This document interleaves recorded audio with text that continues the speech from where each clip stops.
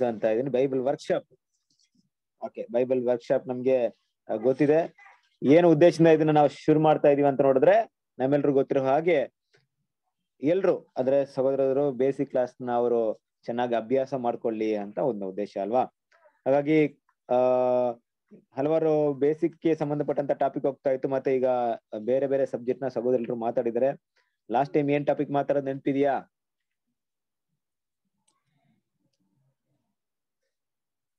ನೆನಪಿದ್ಯಾ? Last week ಏನ್ ಮಾತಾಡಿದ್ರು ಅಂತ?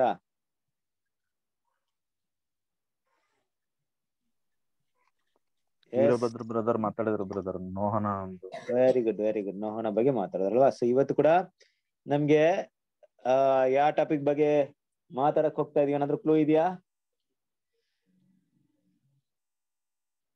ಇಲ್ಲ. Okay. ಇಲ್ಲ ಇಲ್ಲ ಬ್ರದರ್ ಗೊತ್ತಿಲ್ಲ ಬ್ರದರ್ ಯಾರಿಗೂ ಗೊತ್ತಿರಲ್ಲ. ಸೊ ಯಾರು ಮಾತಾಡ್ತಾರ ಅಂತ ಗೊತ್ತಿದ್ಯಾ?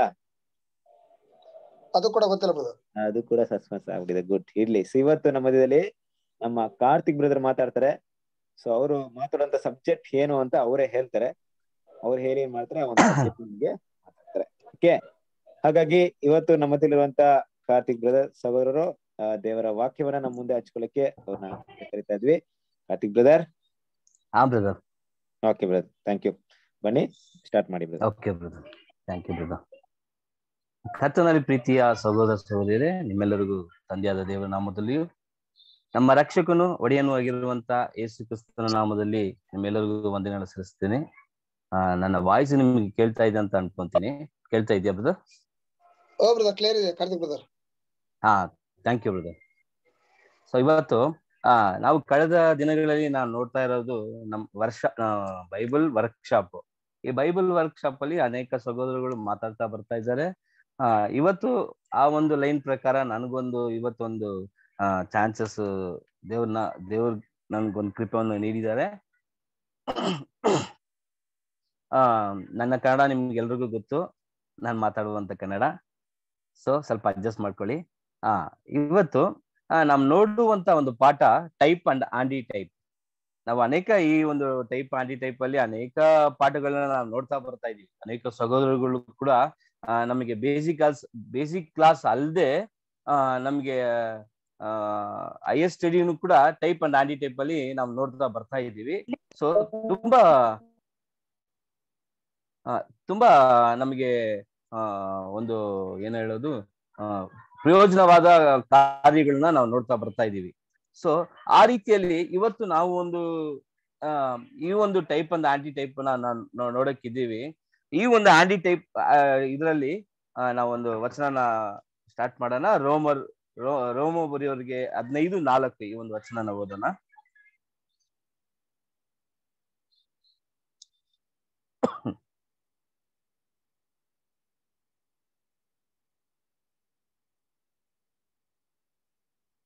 ಪ್ಲೀಸ್ ಯಾರಾದ್ರೂ ಓದಿ brother please sister and brothers and sisters ಪೂರ್ವ, ಪೂರ್ವದಲ್ಲಿ ಬರೆದದ್ದೆಲ್ಲ ನಮ್ಮನ್ನು ಉಪದೇಶಿಸುವುದಕ್ಕಾಗಿ ಬರೆಯಲ್ಪಟ್ಟಿತ್ತು.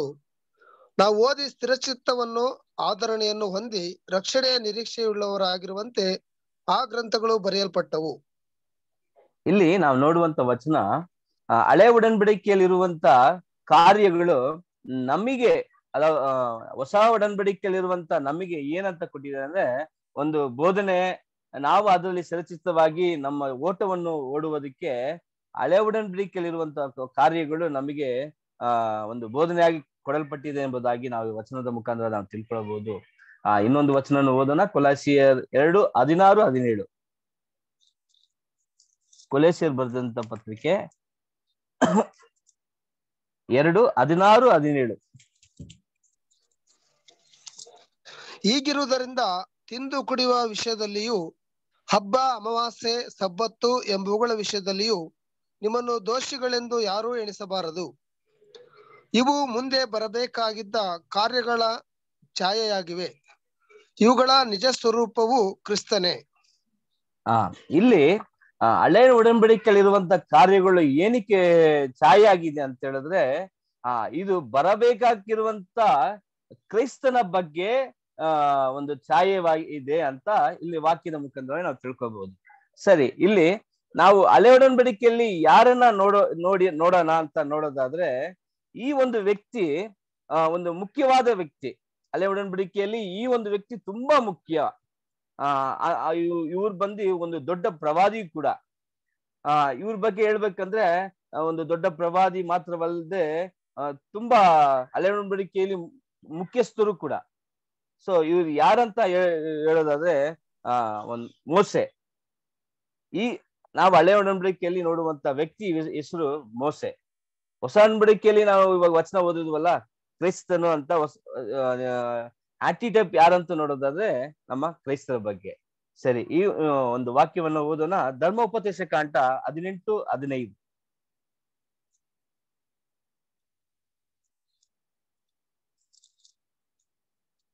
ಧರ್ಮೋಪದೇಶ ಕಾಂಡ ಹದಿನೆಂಟು ಹದಿನೈದು. ನಿಮ್ಮ ದೇವರಾದ ಯಹೋವನು ನಿಮ್ಮ ಸಹೋದರರಲ್ಲಿ ನನ್ನಂತ ಪ್ರವಾದಿಯನ್ನು ನಿಮಗೆ ಏರ್ಪಡಿಸುವನು. ಅವನಿಗೆ ನೀವು ಕಿವಿಗೊಡಬೇಕು. ಆ, ಇಲ್ಲಿ ಆ, ಈ ಧರ್ಮೋಪದೇಶ ಕಾಂಡದಲ್ಲಿ ಮೋಸ ಏನ್ ಹೇಳ್ತಾರೆ ಅಂತ ಹೇಳಿದ್ರೆ, ನಿಮ್ಮ ದೇವರಾದ ಯಹೋವನು ನಿಮ್ಮ ಸಹೋದರಲ್ಲಿ ನನ್ನಂತ ಪ್ರವಾದಿಯನ್ನು ಏರ್ಪಡಿಸು, ಏರ್ಪಡಿಸುವನು. ಮೋಸ ಹೇಳೋದೇನಂತ ಹೇಳಿದ್ರೆ ನನ್ನಂತ ಪ್ರವಾದಿ ನಿಮ್ಮ ನಿಮ್ಮ ಒಂದು ಗುಂಪಿನಲ್ಲೇ ಐ ಮೀನ್ ಇಸ್ರೇಲ್ ಇಸ್ರಾಯೇಲ್ ಜನರ ಒಳಗಡೆನೆ ನನ್ನ ಒಂದು ಪ್ರವಾದಿ ಹಾಗೆ, ನನ್ನ ಹಾಗೆ ಒಂದು ಪ್ರವಾದಿನ ಎಬ್ಬಿಸ್ತಾರಂತೆ. ಅದು ಯಾರಂತ ನಾನು ನೋಡೋದಾದ್ರೆ ಅಪೋಸ್ತಲರ್ ಮೂರು ಇಪ್ಪತ್ತೆರಡು ಓದೋಣ ಅಪೋಸ್ತಲರ್ ಮೂರು ಇಪ್ಪತ್ತೆರಡು.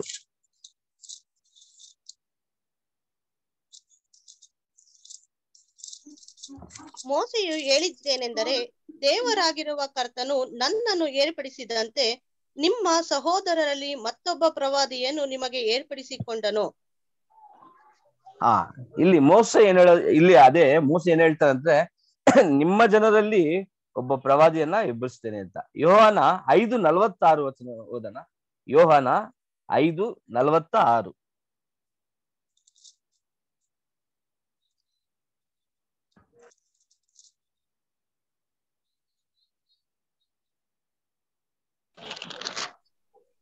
ಆದ ಆದದರಿಂದ ನೀವು ಮೋಸೆಯ ಮಾತನ್ನು ನಂಬುವರಾಗಿದ್ದರೆ ನನ್ನ ಮಾತನ್ನು ನಂಬುತ್ತಿದ್ದೀರಿ.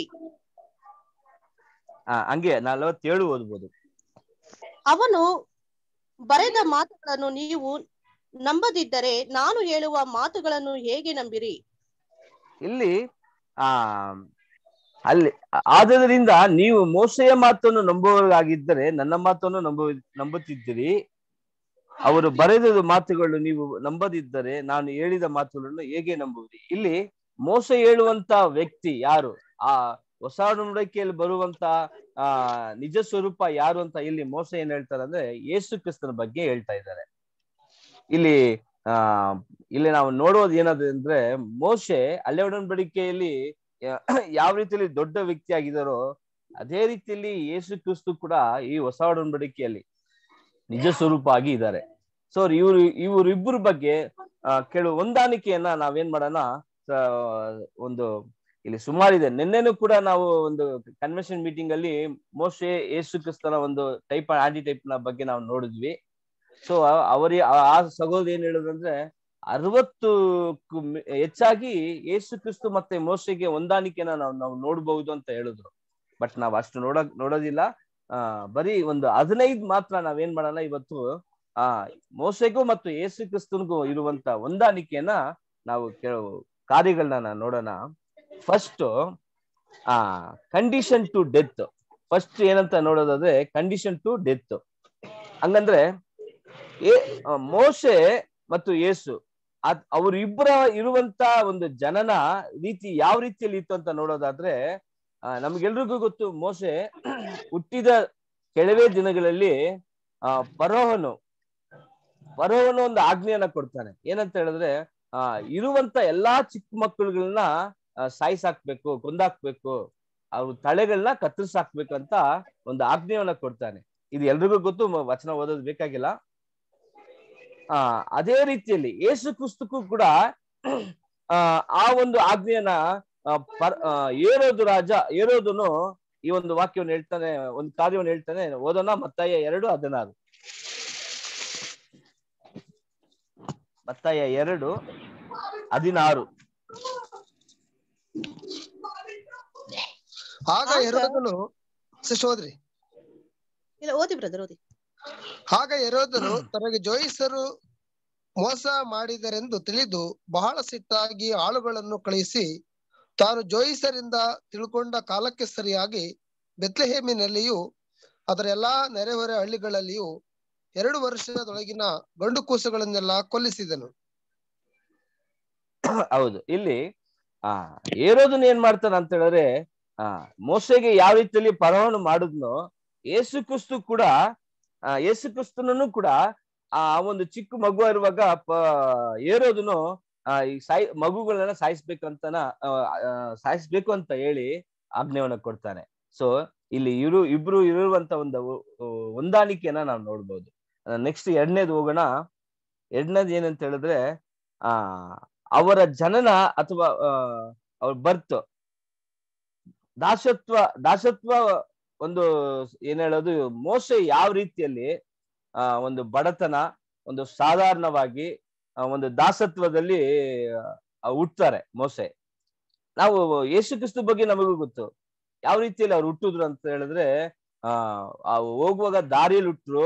ಅವ್ರನ್ನ ಯಾವುದು ಚೌಟ್ರಿಯಲ್ಲಿ ಜಾಗ ಇಲ್ಲದೆ ಒಂದು ಆ ಏನದು ಹಸುಗಳಿರುವಂತ ಜಾಗ. ಅದು ಏನ್ ಹೇಳ್ತಾರೆ ಕನ್ನಡದಲ್ಲಿ?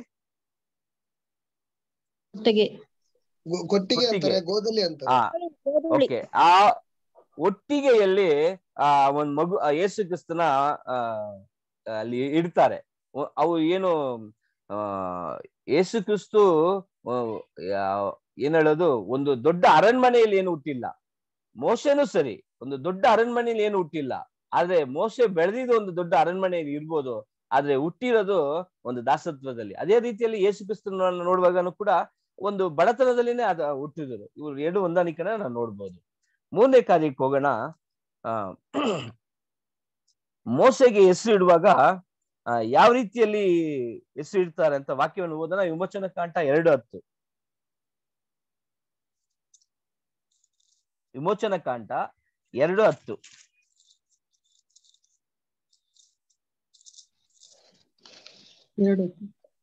ಪರೋಹನ ಪರೋಹನ ಕುಮಾರ್ತಿಯು ಬಳಿಗೆ ತೆಗೆದುಕೊಂಡು ಬಂದಳು.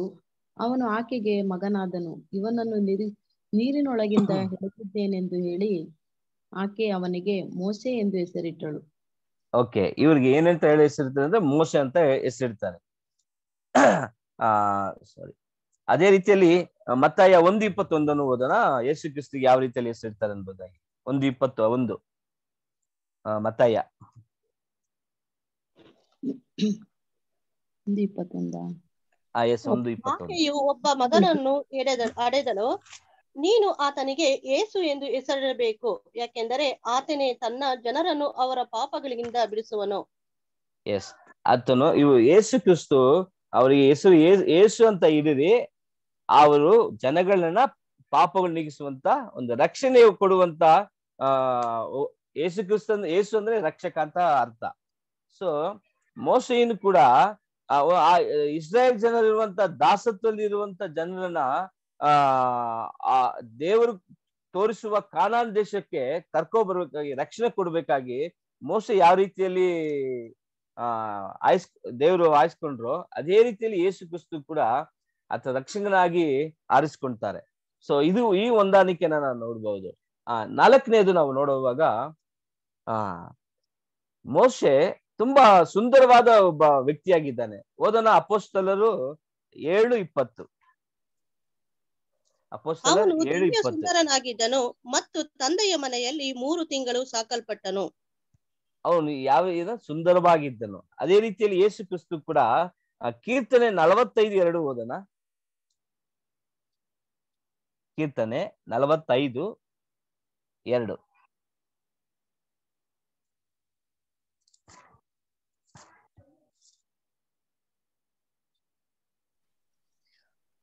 ನಲವತ್ತೈದು ಎರಡಾ?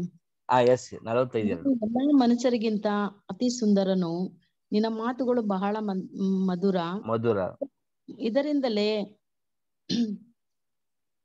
ದೇವ ಅನುಗ್ರಹವು ಯಾವಾಗಲೂ ನಿನ್ನ ಮೇಲದೆ ಎಂದು ನಿನ್ನ ಬಾಯಿ ಮಾತುಗಳಿಂದ ಸ್ಪಷ್ಟವಾಗುತ್ತದೆ. ಓಕೆ ಇಲ್ಲಿ. ಇಲ್ಲಿ ನಾವು ನೋಡುವಾಗ ಮೋಸ ಯಾವ ರೀತಿಯಲ್ಲಿ ಸುಂದರವಾಗಿ ಇದ್ದನೋ. ಅದೇ ರೀತಿಯಲ್ಲಿ ಇಲ್ಲಿ ಕೀರ್ತನೆಗಾರರು ಹೇಳುವಂತ ಮಾತು ಯೇಸು ಕ್ರಿಸ್ತು ಬಗ್ಗೆನೆ ಅಲ್ಲಿ ಆ- ಒಂದ್ ನಿಮಿಷ ಇಲ್ಲಿ ಡಿಸ್ಟರ್ಬ್ ಆಗಿದೆ? ಪ್ಲೀಸ್ ಯಾರಾದ್ರು? ರೇಷ್ಮೆ ಸಿಸ್ಟರ್ ಪ್ಲೀಸ್ ಶಾಂತಮ್ಮ ಓದ್ತಾ ಇರೋದು. ಓಕೆ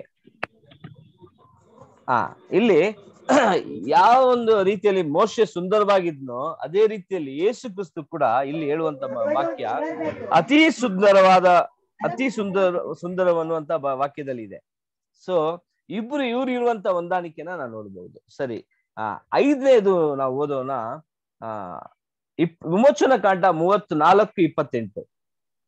ವಿಮೋಚನ ಕಾಂಡ ಮೂವತ್ ನಾಲ್ಕು ಇಪ್ಪತ್ ಮೋಸೆ ಆ. ಬೆಟ್ಟದಲ್ಲಿ ಯಹೋವನ ಸನ್ನಿಧಿಯಲ್ಲಿ ಹಗಲಿರುಳು ನಲ್ವತ್ತು ದಿನ ಇದ್ದನು. ಅವನು ಏನು ಊಟ ಮಾಡಲಿಲ್ಲ ಅವನು ಏನು ಕುಡಿಯಲಿಲ್ಲ. ಆತನು ಬಂಧನ ನಿಬಂಧನದ ವಾಕ್ಯಗಳನ್ನು ಅಂದರೆ ಹತ್ತು ಆಜ್ಞೆಗಳನ್ನು ಆ ಕಲ್ಲಿನ ಅಲೆಗಳ ಅಲೆಗೆಗಳ ಮೇಲೆ ಬರೆದನು. ಓಕೆ ಸರ್ ಥ್ಯಾಂಕ್ ಯು ಇಲ್ಲಿ ಆ ಮೋಶೆ ನಲವತ್ತು ದಿವಸ ಅಗಲಿರಲು ಏನೊಂದು ಊಟ ತಿಂದೆ ನೀರ್ ಕುಡದೆ ನಲವತ್ತು ದಿವಸ ದೇವರ ಒಂದ್ ದೇವರ ಜೊತೆ ಮಾತಾಡಕ್ಕೆ ಮೇಲೆ ಬೆಟ್ಟದಲ್ಲಿ ಇದ್ರು ಅಂತ ನಾವಿಲ್ಲಿ ವಾಕ್ಯದಿಂದ ನೋಡ್ಬೋದು. ಅದೇ ರೀತಿಯಲ್ಲಿ ಏಸು ಯೇಸು ಕ್ರಿಸ್ತು ಕೂಡ ಆ, ಮತ್ತಾಯ ನಾಲ್ಕು ಹನ್ನೆರಡರಲ್ಲಿ ಓದಿ ಪ್ಲೀಸ್ ಮತ್ತಾಯ ನಾಲ್ಕು ಎರಡು. ಸಾರಿ ಮತ್ತಾಯ ನಾಲ್ಕು ಎರಡು. ಆತನು ನಲ್ವತ್ತು ದಿವಸ ಅಗಲಿರುಳು ಉಪವಾಸವಿದ್ದು ತರುವಾಯ ಆತನಿಗೆ ಹಸಿವಾಯಿತು. ಎಸ್ ಇವರು ನಮ್ ಯೇಸು ಕ್ರಿಸ್ತನು ಕೂಡ ನಲವತ್ತು ದಿವಸ ಏನ್ ಮಾಡಿದ್ರು? ದೇವ್ರ ಜೊತೆ ಆ ಒಂದು ದೊಡ್ಡ ಪ್ಲಾನ್ ತರಕ್ಕೆ ಆ ನಮ್ಗೆಲ್ರಿಗೂ ಗೊತ್ತು ಸುಮ್ನೆ ಹೋಗಿ ಆ, ಸ್ತೋತ್ರ ಸ್ತೋತ್ರ ಸ್ತೋತ್ರ ಅಂತ ಹೇಳಕ್ ಹೋಗಿಲ್ಲ. ಆ ಮೋಸ ಯಾವ ರೀತಿಯಲ್ಲಿ ಆ ಆಜ್ಞೆಗಳನ್ನ ತರಕ್ಕೆ ದೇವರ ಒಂದು ಆ ಏನದು ಆ, ಗೂಡಾರ ಏನದು ಆಸರ್ಪು ಗೂಡಾರ. ಆ ಏನ್ ಹೇಳೋದು ಅದಕ್ಕೆ?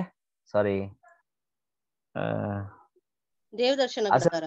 ದೇವ ದರ್ಶನ ಗುಡಾರ ಎಸ್ ಮೋಸ ಯಾವ ರೀತಿಯಲ್ಲಿ ದೇವ್ ದರ್ಶನ ಗುಡಾರ ಮತ್ತೆ ಅದ್ ದಾಜ್ಞೆಗಳನ್ನ ತರಕ್ಕೆ ನಲವತ್ತು ದಿವಸ ಹೋಗಿ ದೇವ್ರ ಜೊತೆ ಮಾತಾಡಿದ್ರು. ಅದೇ ರೀತಿಯಲ್ಲಿ ಯೇಸು ಕ್ರಿಸ್ತು ಕೂಡ ಸುಮ್ನೆ ಹೋಗಿ ಏನೋ ಒಂದು ಸ್ತೋತ್ರ ಹೇಳಕ್ಕೋ ಅಥವಾ ಹಳೆಲು ಹೇಳಕ್ಕೋ ಹೋಗಿಲ್ಲ. ಆ, ದೊಡ್ಡ ಪ್ಲಾನ್ ಚಿಕ್ಕ ಹಿಂಡು ದೊಡ್ಡ ಸಮೂಹ ಬಗ್ಗೆ ಯೇಸು ಕ್ರಿಸ್ತ ನಲವತ್ತು ದಿವಸನ ವ್ಯರ್ಥ ಮಾಡದೆ ಒಂದು ಪ್ರಯೋಜನಕರ ಕಾರ್ಯಗಳನ್ನ ಮಾಡಕ್ಕೆ ಇಬ್ರು ಒಂದು ದೊಡ್ಡ ಪ್ಲಾನ್ ಗಾಗಿನೇ ಏನ್ ಮಾಡೋದು? ದೇವ್ರ ಜೊತೆ ಮಾತಾಡಕ್ಕೆ ನಲವತ್ತು ದಿವಸ ಇಬ್ರು ಹೋದ್ರು ಅಂತ ವಾಕ್ಯ ಮುಖಾಂತರ ಹೊಂದಾಣಿಕೆನ ನಾವು ನೋಡ್ಬೋದು. ಸರಿ. ಆರನೇದು ನಾವು ನೋಡುವಾಗ, ಆ ಮೋಶೆ ಒಂದು ಮುಖ ಬೆಟ್ಟದಲ್ಲಿ ಯಾವ ರೀತಿಯಲ್ಲಿ ಒಂದು ಪ್ರಕಾಶವಾಗಿತ್ತೋ ನಾವು ವಾಕ್ಯವನ್ನು ಓದೋಣ. ವಿಮೋಚನ ಕಾಂಡ ಮೂವತ್ತ್ ನಾಲ್ಕು ಮೂವತ್ತೈದು. ವಿಮೋಚನ ಕಾಂಡ ಮೂವತ್ತ ನಾಲ್ಕು ಮೂವತ್ತೈದು.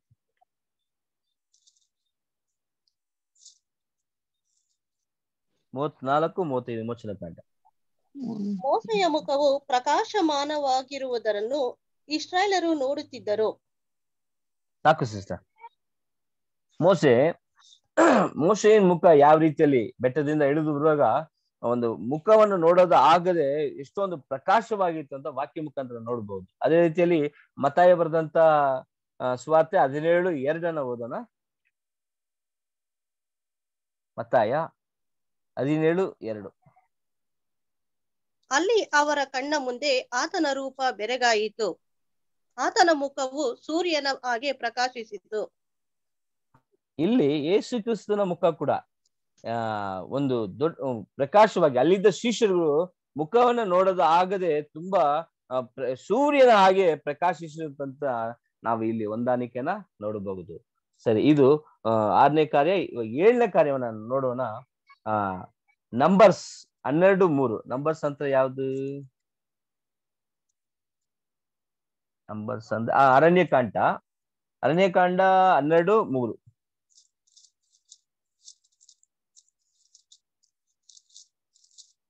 ಅರಣ್ಯಕಾಂಡ ಹನ್ನೆರಡು ಮೂರು. ಆ ಮೋಸೆ ಭೂಮಿಯ ಮೇಲಿರುವ ಎಲ್ಲಾ ಮನುಷ್ಯರಿಗಿಂತಲೂ ಬಹು ಸಾತ್ವಿಕನು. ಆ ಇಲ್ಲಿ ಮೋಸೆಗೆ ಆ ಒಂದು ಏನ್ ಹೇಳೋದು ಆ ಲೋಕದಲ್ಲಿ ವಾಕ್ಯವನ್ನು ತಿರ್ಗ ಒಂದು ಸರಿ ಓದೋಣ ಸಾರಿ ಆ ಆ ಮೋಸೆ ಭೂಮಿಯ ಮೇಲಿರುವ ಎಲ್ಲಾ ಮನುಷ್ಯರಿಗಿಂತಲೂ ಬಹು ಸಾತ್ವಿಕನು ಭೂಮಿಯಲ್ಲಿರುವಂತ ಎಲ್ಲಾ ಜನರಿಗಿಂತಲೂ ಇವತನು ತುಂಬಾ ಸಾ ಸಾತ್ವಿಕನು ತುಂಬಾ ತಾಳ್ಮೆ ಉಳ್ಳವನಂತ ಇಲ್ಲಿ ವಾಕ್ಯದಲ್ಲಿ ಓದ್ಬೋದು. ಅದೇ ರೀತಿಯಲ್ಲಿ ಯೇಸು ಕ್ರಿಸ್ತು ಕೂಡ ಆತನು ಯಾವ ರೀತಿಯಲ್ಲಿ ಸಾತ್ವಿಕ ಆಗಿ ಇದ್ದನು ಅಂತ ವಾಕ್ಯ ಮುಖಾಂತರ ನೋಡೋಣ. ಮತ್ತೆ ಬರೆದಂತ ಸ್ವಾರ್ತೆ ಹನ್ನೊಂದು ಇಪ್ಪತ್ತ ಒಂಬತ್ತು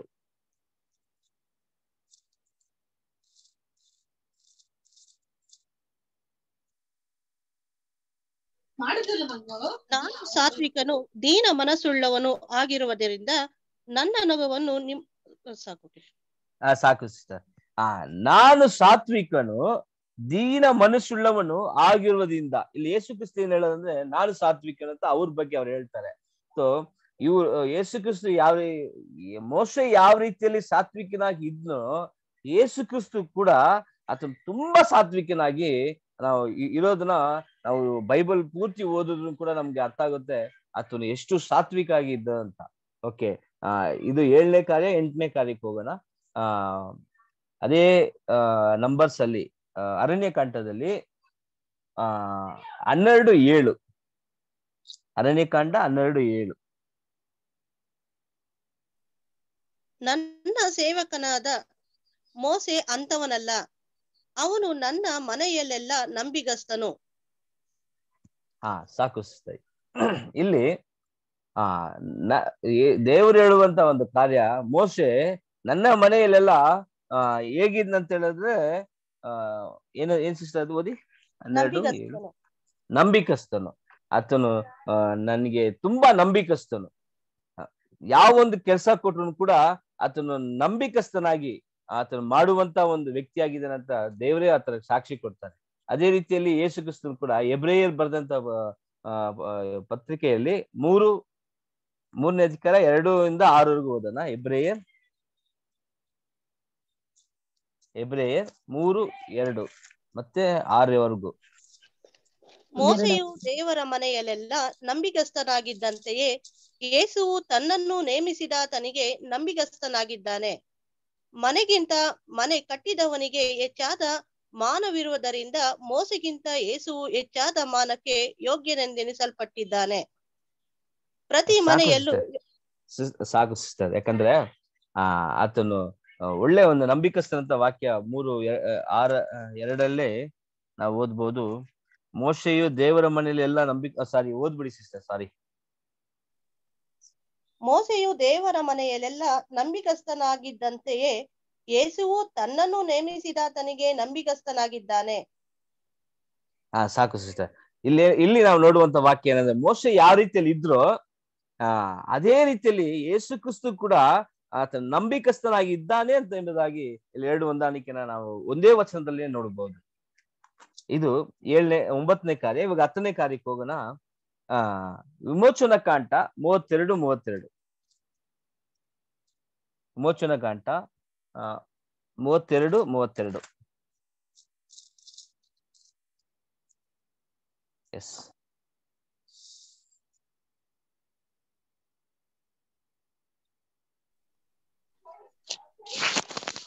ಇದು ಬ್ರದರ್ ಸಿಸ್ಟರ್ ಅವರ ಪಾಪವನ್ನು ಕ್ಷಮಿಸಬೇಕು. ಇಲ್ಲವಾದರೆ ನೀನು ಬರೆದಿರುವ ಜೀವಿತದ ಪಟ್ಟಿಯಿಂದ ನನ್ನ ಹೆಸರನ್ನು ಅಲಿಸಿ ಬಿಡಬೇಕೆಂದು ಕೇಳಿಕೊಳ್ಳುತ್ತೇನೆ ಎಂದು ಪ್ರಾರ್ಥಿಸಿದನು. ಇಲ್ಲಿ ಆ, ಮೋಸ ಮಾಡುವಂತ ಒಂದು ಪ್ರಾರ್ಥನೆ ಜನರ ಮೇಲಿರುವಂತ ಒಂದು ಪ್ರೀತಿ, ಆ, ಒಂದ್, ಒಂದು, ಇಸ್ರೇಲ್ ಜನರು ಮಾಡುವಂತ ಒಂದು ಪಾಪ ದೇವರಿಗೆ ಬಹು ಕೋಪ ಉಂಟಾಯಿತು. ಆ ಕೋಪದಲ್ಲಿ, ಆ, ದೇವರು ಇಸ್ರಾಯೇಲ್ ಜನನೇ ನಾಶ ಮಾಡ್ಬಿಡ್ತೀನಿ ಅಂತ ಹೇಳುವಾಗ ಇಲ್ಲಿ ಮೋಸ ಪ್ರಾರ್ಥನೆ ಮಾಡ್ತಾನೆ ಇಲ್ಲೆಲ್ಲ ಆ ರೀತಿಯಲ್ಲಿ ಮಾಡ್ಬೇಡಿ ದೇವ್ರೆ ಆ ಪಾ ಅವರ ಪಾಪಗಳನ್ನು ಶ್ರಮಿಸಬೇಕು ಇಲ್ಲದಾದರೆ ನೀನು ಬರೆದಿರುವಂತ ಪಟ್ಟಿಯಿಂದ ನನ್ನ ಹೆಸರನ್ನು ಅಳಿಸಿ ಬಿಡಬೇಕೆಂದು ಕೇಳಿಕೊಳ್ಳಿದೆ ಇಲ್ಲಿ ಒಂದು ಒಳ್ಳೆ ಪ್ರಾರ್ಥನೆ ಮಾಡ್ತಾನೆ ತನ್ನ ಜನರಿಗಾಗಿ ಆ ಒಂದು ಒಳ್ಳೆ ಪ್ರಾರ್ಥನೆ ನಾವು ನೋಡ್ಬೋದು. ಅದೇ ರೀತಿಯಲ್ಲಿ ಆ ಯೋಹಾನ ಬರೆದಂತ ಸ್ವಾತೆ ಹದಿನೇಳು ಒಂಬತ್ತು ಹತ್ತು. ಯೋಹಾನ. ಇವರಿಗೋಸ್ಕರ ಕೇಳಿಕೊಳ್ಳುತ್ತೇನೆ.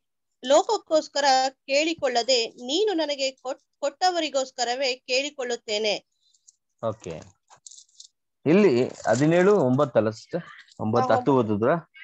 ಹತ್ತಿಲ್ಲ. ಹತ್ತು ಓದು ಹತ್ತು ಓದಿ ಸಿಸ್ಟರ್ ನಿನ್ನವರಾಗಿದ್ದರೆ ನನ್ನದೆಲ್ಲ ನಿನ್ನದೇ ನಿನ್ನದೆಲ್ಲ ನನ್ನದೇ ಮತ್ತು ಇದರಿಂದ ನನಗೆ ಮಹಿಮೆ ಉಂಟಾಗಿ ಇನ್ನು ನಾನು ಲೋಕದಲ್ಲಿ ಇರುವುದಿಲ್ಲ. ಇಲ್ಲಿ ಯೇಸು ಕ್ರಿಸ್ತು ಕೂಡ ಒಂದು ಪ್ರಾರ್ಥನೆ ಮಾಡ್ತಾರೆ. ನಾನು ಇರುವರಿಗೋಸ್ಕರ ಕೇಳಿಕೊಳ್ಳುತ್ತೇನೆ, ಲೋಕಕ್ಕೋಸ್ಕರ ಕೇಳಿಕೊಳ್ಳೋದಿಲ್ಲ, ನೀನು ನನಗೆ ಕೊಟ್ಟವರಿಗೋಸ್ಕರವೇ ಕೇಳಿಕೊಳ್ಳುತ್ತೇನೆ. ಇಲ್ಲಿ ಪ್ರಾರ್ಥನೆ ಮಾಡುವಂತ ಯೇಸು ಕ್ರಿಸ್ತು ಯಾರ ಬಗ್ಗೆ ಪ್ರಾರ್ಥನೆ ಮಾಡ್ತಾರೆ ಅಂತ ನೋಡಿದ್ರೆ ಒಂದ್ ಸಭೆಗೋಸ್ಕರ, ಸಭೆ ಮಕ್ಕಳಿಗೋಸ್ಕರ ಅವ್ರು ಮಾಡುವಂತ ಒಂದು ಪ್ರಾರ್ಥನೆ. ರೋಮರ್ ಎಂಟು ಮೂವತ್ತು ನಾಲ್ಕು ವಚನ ಓದೋಣ. ರೋಮರ್ ಎಂಟು ಮೂವತ್ತ ನಾಲ್ಕು ಅಪರಾಧಿಗಳೆಂದು ನಿರ್ಣಯಿಸುವವರು ಯಾರು?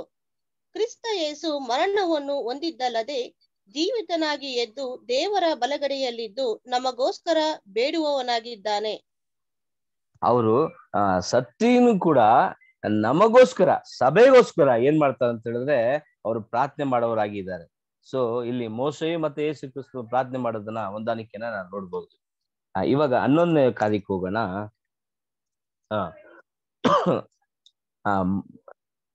ನಂಬರ್ಸ್ ಆ, ಅದೇ ನಂಬರ್ಸ್ ಅಲ್ಲಿ ಹನ್ನೆರಡು, ಏಳು, ಎಂಟು. ಅರಣ್ಯಕಾಂಡ ಹನ್ನೆರಡು, ಏಳು ಮತ್ತ ಎಂಟು. ನನ್ನ ಸೇವಕನಾದ ಮೋಸೆ ಅಂತವನಲ್ಲ, ಅವನು ನನ್ನ ಮನೆಯಲ್ಲೆಲ್ಲ ನಂಬಿಗಸ್ತನು. ಅವನ ಸಂಗಡ ನಾನು ಗೂಢವಾಗಿ ಸಾರಿ ಗೂಢವಾಗಿ ಅಲ್ಲ, ಪ್ರತ್ಯಕ್ಷವಾಗಿ ಪ್ರತ್ಯಕ್ಷದಲ್ಲಿ ಸ್ಪಷ್ಟವಾಗಿಯೇ ಮಾತನಾಡುವೆನು. ಇಲ್ಲಿ, ಆ ದೇವ್ರು ಏನ್ ಹೇಳ್ತಾನೆ ಅಂತ ಹೇಳಿದ್ರೆ ಮೋಸ ಬಗ್ಗೆ ಇವನು ನನ್ನ ಮನೆಯಲ್ಲೆಲ್ಲ, ಆ, ನಂಬಿಕಸ್ಥನಾಗಿ ಇದ್ದಾನಂತ. ಏನಂತ ಹೇಳಿದ್ರೆ, ಆ ಮೋಸೆ ಬಗ್ಗೆ ದೇವ್ರು ಹೇಳುವಂತ ಒಳ್ಳೆ ಸಾಕ್ಷಿ. ಒಂದು ಏನ್ ಹೇಳೋದು, ಆ, ಒಂದು ಅವನ ಹೆಸರು ಒಂದು ಒಳ್ಳೆ ರೀತಿಯಲ್ಲಿ ಹೇಳುವಂತ ಕಾರ್ಯ. ಅದೇ ರೀತಿಯಲ್ಲಿ ಮೋಸೆ ಕೂಡ ಒಂದು ಆ ದೇವರ ಮನೆಯಲ್ಲಿ ಒಂದು ಒಳ್ಳೆಯನಾಗಿ ಆ ದೇವರು ಮೆಚ್ಚಿಕೊಳ್ಳುವಂತ ರೀತಿಯಲ್ಲಿ ಆತನು ನಡೆದಿರೋದನ್ನ ಇಲ್ಲಿ ದೇವರು ಕೊಡುವಂತ ಸಾಕ್ಷಿ.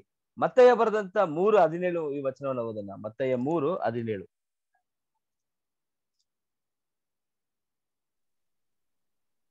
ಆಗ ಆತನು ಪ್ರಿಯನಾಗಿರುವ ನನ್ನ ಮಗನು ಈತನನ್ನು ನಾನು ಮೆಚ್ಚಿದ್ದೇನೆ ಎಂದು ಆಕಾಶವಾಣಿ ಆಯಿತು. ಇಲ್ಲಿ ಯೇಸು ಕ್ರಿಸ್ತು ಕೂಡ ಆ, ಸಾರಿ, ದೇವರು ಯೇಸು ಕ್ರಿಸ್ತನನ್ನು ಕೂಡ, ಆ, ಹೇಳುವಂತ ಕಾರ್ಯ ಈತನು ನನಗೆ ಪ್ರಿಯವಾದ ಮಗ. ಆ, ಏನು ಯೇಸು ಕ್ರಿಸ್ತು ಈ ಭೂಮಿಯಲ್ಲಿ ಹುಟ್ಟುವಾಗ ಮಾತ್ರ ಆತ ಜನ, ಜನ್ ಹುಟ್ಟಿದಾನೆ, ಅವಾಗ್ಲೇ ಸೃಷ್ಟಿ ಮಾಡಿದಂತೆ ಅಲ್ಲ. ಆತನು ಅವರ ದೇವರ ಮನೆಯಲ್ಲಿ, ದೇವರ ಒಂದು ಒಂದು ನಂಬಿಕಸ್ಥನಾಗಿ ಅವ್ರ ಮಾತನ್ನು ಕೇಳುವಂತ ಕೇಳಿ ಆತನು, ನಾನು ಈ ಲೋಕಕ್ಕೋಸ್ಕರ ನನ್ನ ಜೀವವನ್ನು ಕೊಡ್ತೀನಂತ ಒಂದು ಆ, ಒಂದು ವಾಕ್ಯವನ್ನು ಕೊಟ್ಟಿನೇ ಈ ಭೂಮಿಗೆ ಬಂದಿರೋದು ಯೇಸು ಕ್ರಿಸ್ತು. ಅದು, ಅದೊಂದು, ಅದನ್ನ ನೆನಪಲ್ಲಿ ಇಟ್ಕೊಂಡು ದೇವ್ರು ಏನ್ ಹೇಳ್ತಾರೆ, ಇವನು ನನ್ನ ಪ್ರಿಯವಾದ ಮಗನು ಅಂತ ಒಂದು ಒಳ್ಳೆ ಹೆಸರನ್ನ ಜನರಿಗೆ ಅಲ್ಲಿ ಹೇಳುವಂತ ಕಾರ್ಯವನ್ನ ನೋಡ್ಬಹುದು ಸರಿ, ಆ, ಹನ್ನೆರಡನೇ ಕಾರ್ಯಕ್ಕೆ ನಾವು ಹೋಗೋಣ. ನಂಬರ್ಸ್, ಅದೇ ಅರಣ್ಯಕಾಂಡ ಇಪ್ಪತ್ತ ಒಂದು, ಆರು. ಅರಣ್ಯಕಾಂಡ ಇಪ್ಪತ್ತ ಒಂದು ಆರು.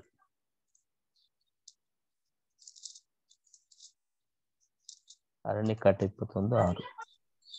ಅದಕ್ಕೆ ಯೆಹೋವನು ಉರಿಮಂಡಲವನ್ನು ಜನರೊಳಗೆ ಬರಮಾಡಿದನು. ಅವು ಜನರನ್ನು ಕಚ್ಚಿದ ಕಚ್ಚಿದ್ದರಿಂದ ಬಹು ಜನ ಸತ್ತು ಹೋದರು. ಏಳು ಎಂಟು ಓದಿ ಸಿಸ್ಟರ್ ಹಂಗೆ. ಎಂಟು ಒಂಬತ್ತವರೆಗೂ ಓದಿ. ಜನರು ಮೋಸೆಯ ಬಳಿಗೆ ಬಂದು ನಾವು ನಿನಗೆ ಯೋಹಾನಿ ಯೋಹಾನಿಗೂ ವಿರೋಧವಾಗಿ ಮಾತಾಡಿ ಯೆಹೋವನಿಗೂ ಈ ಸರ್ಪಗಳನ್ನು ನಮ್ಮ ಬಳಿಯಿಂದ ತೊಲಗಿ ಹೋಗುವಂತೆ ನೀನು ಯಹೋವನಿಗೆ ಪ್ರಾರ್ಥನೆ ಮಾಡಬೇಕೆಂದು ಬೇಡಿಕೊಂಡರು. ಮೋಸೆ ಜನರಿಗೋಸ್ಕರ ಪ್ರಾರ್ಥಿಸಲಾಗಿ ಯಹೋವನು ಅವನಿಗೆ ನೀನು ತಾಮ್ರದಿಂದ ವಿಷಸರ್ಪದ ಆಕಾರವನ್ನು ಮಾಡಿಸಿ ಧ್ವಜಸ್ತಂಭದ ಮೇಲೆ ಎತ್ತಿ ನಿಲ್ಲಿಸಬೇಕು. ಸರ್ಪಗಳಿಂದ ಗಾಯಪಟ್ಟವರು ಅದನ್ನು ನೋಡಿ ಬದುಕಿಕೊಳ್ಳುವರು ಎಂದು ಆಜ್ಞಾಪಿಸಿದನು. ಆದ ಕಾರಣ ಮೋಸೆ ತಾಮ್ರದಿಂದ ಸರ್ಪದ ಆಕಾರವನ್ನು ಮಾಡಿಸಿ ಧ್ವಜಸ್ತಂಭದ ಮೇಲೆ ಇಡಿಸಿದನು. ಸರ್ಪಗಳಿಂದ ಗಾಯಪಟ್ಟವರಲ್ಲಿ ಯಾರು ಆ ತಾಮ್ರದ ಸರ್ಪವನ್ನು ಲಕ್ಷ್ಯವಿಟ್ಟು ನೋಡಿದರೋ ಅವರೆಲ್ಲರೂ ಬದುಕಿಕೊಂಡರು. ಎಸ್ ಇಲ್ಲಿ ಆ ಜನರು ಮಾಡುವಂತ ಪಾಪಕ್ಕೆ ಹಾವುಗಳು ಬಂದು ಕಚ್ಚುತ್ತೆ. ಅದಕ್ಕೆ ದೇವರು ಹೇಳುವಂತ ಒಂದು ಸೊಲ್ಯೂಷನ್ ಏನಂತ ಹೇಳಿದ್ರೆ, ತಾಮ್ರದಲ್ಲಿ ಒಂದು ಹಾವನ್ನ ಇದು ಮಾಡಿ, ಆ ಕಂಬಕ್ಕೆ ಕಟ್ಟಿ, ಆ ಮೇಲೆ ಇಡಿ, ಅದನ್ನ ನೋಡಿದವರು ಬದುಕಲಿ ಅಂತ ಈ ವಾಕ್ಯದ ಒಂದು ಆಧಾರದ ಮೇಲೆ ಆ ವಾಕ್ಯವನ್ನ ನೋಡಬಹುದು ಸೊ ಮೋಸೆ ಹೇಳುವಂತ ಕಾರ್ಯ ಒಂದು ಮೋಸ ಜನರಿಗೆ ಮಾಡು, ಮಾಡುವಂತ ಒಂದು ಕಾರ್ಯ ಏನಂತ ಹೇಳಿದ್ರೆ, ಒಂದು ಸರ್ಪವನ್ನ ತಾಮ್ರದಲ್ಲಿ ಮಾಡುವಂತ ವಾಕ್ಯ ಇದೆ. ಅದೇ ರೀತಿಯಲ್ಲಿ ಯೋಹಾನ ಬರೆದಂತ ಸ್ವಾತೆ ಮೂರು ಹದ್ನಾಲ್ಕ ಓದನ ಓದೋಣ. ಈ ಒಂದು ಘಟನೆ ಅದೇ ರೀತಿಯಲ್ಲಿ ಒಂದೊಂದು ಘಟನೆ ಇಲ್ಲಿ ಹೊಸ ಒಡಂಬಡಿಕೆ ಇಡುವಂತ ಕಾರ್ಯ ನೋಡೋಣ. ಯೋಹಾನ ಮೂರು ಹದ್ನಾಲ್ಕು. ಜನರು ನೋಡಿ ಜೀವದಿಂದುಳಿಯಬೇಕೆಂದು ಮೋಸೆಯು ಅಡವಿಯಲ್ಲಿ ಆ ಸರ್ಪವನ್ನು ಎತ್ತರದಲ್ಲಿಟ್ಟು ಹಾಗೆಯೇ ಮನುಷ್ಯ ಕುಮಾರನು ತನ್ನನ್ನು ನಂಬುವುದರೆಲ್ಲ ಎಲ್ಲರ ಎಲ್ಲರಿಗೂ ನಿತ್ಯ ಜೀವವನ್ನು ಪಡೆಯಬೇಕೆಂದು ಎತ್ತರದಲ್ಲಿ ಇಡಲ್ಪಟ್ಟಬೇ ಪಡಲ್ಬೇಕು ಓಕೆ, ಇಲ್ಲಿ, ಆ, ಮೋಶ ಯಾವ ರೀತಿಯಲ್ಲಿ ಮಾಡೋದು ಅಂತ ಇಲ್ಲೇ ವಾಕ್ಯಗಳು ಬಂದಿದೆ. ಅದೇ ರೀತಿಯಲ್ಲಿ ಯೇಸು ಕ್ರಿಸ್ತನು ಕೂಡ ಎತ್ತರದಲ್ಲಿ ಪಡಬೇಕಂತೆ. ಯಾಕಂತ ಹೇಳಿದ್ರೆ ಅವನ್ನ ನೋಡಿ ರಕ್ಷಣೆ ಹೊಂದಬೇಕಾಗಿ, ಆ, ನಮಗೆ ಆತ್ಮಿಕ ರೀತಿ ರೀತಿಯಲ್ಲಿ. ಶಿಲುಬೆ ಹೊಂದಿರೋದು ಕಾರಣ ಏನು? ಅವ್ರ ರಕ್ತ ಸಲ್ಲಿಸಲ್ಪಡ್ಬೇಕು. ಆ, ಅದರಿಂದ ನಮಗೆ ಏನಾಗುತ್ತೆ ಅಂದ್ರೆ ವಿಮೋಚನೆ ಆಗುತ್ತೆ ಅಂತ ಈ ವಾಕ್ಯದ ಒಂದು ಅರ್ಥವಾಗಿದೆ. ವಿಶೇಷ ಇನ್ನೊಂದು ವಾಕ್ಯವನ್ನು ಓದೋಣ. ಅದೇ ಯೋಹಾನ ಹನ್ನೆರಡು, ಮೂವತ್ತೆರಡು. ಹನ್ನೆರಡು ಮೂವತ್ತೆರಡು. ಯೋಹನ.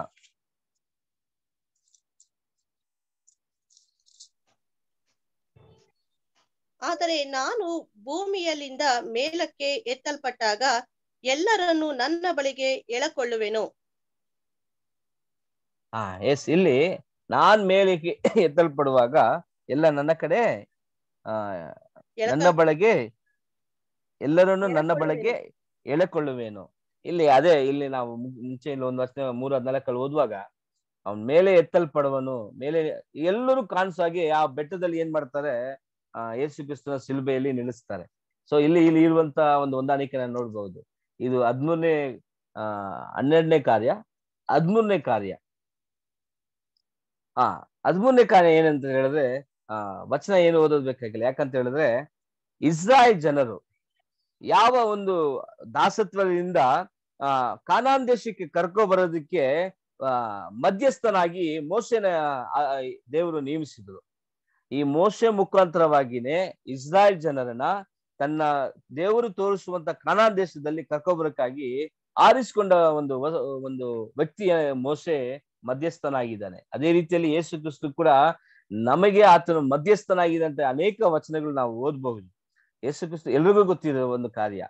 ದೇವರಿಗೂ ನಮಗೂ ಮಧ್ಯಸ್ಥನು ಮಧ್ಯಸ್ಥನು ಅಂತ ನೋಡಿದ್ರೆ ಯೇಸು ಕ್ರಿಸ್ತ ಅಂತ ವಾಕ್ಯದ ಮುಖಾಂತರ ನಾವು ತಿಳ್ಕೊಬಹುದು. ಸೊ ಇದು ಹದಿಮೂರನೇ ಕಾರ್ಯ. ನಾವು ಹದಿನಾಲ್ಕನೇ ಕಾರ್ಯಕ್ಕೆ ಹೋಗೋಣ.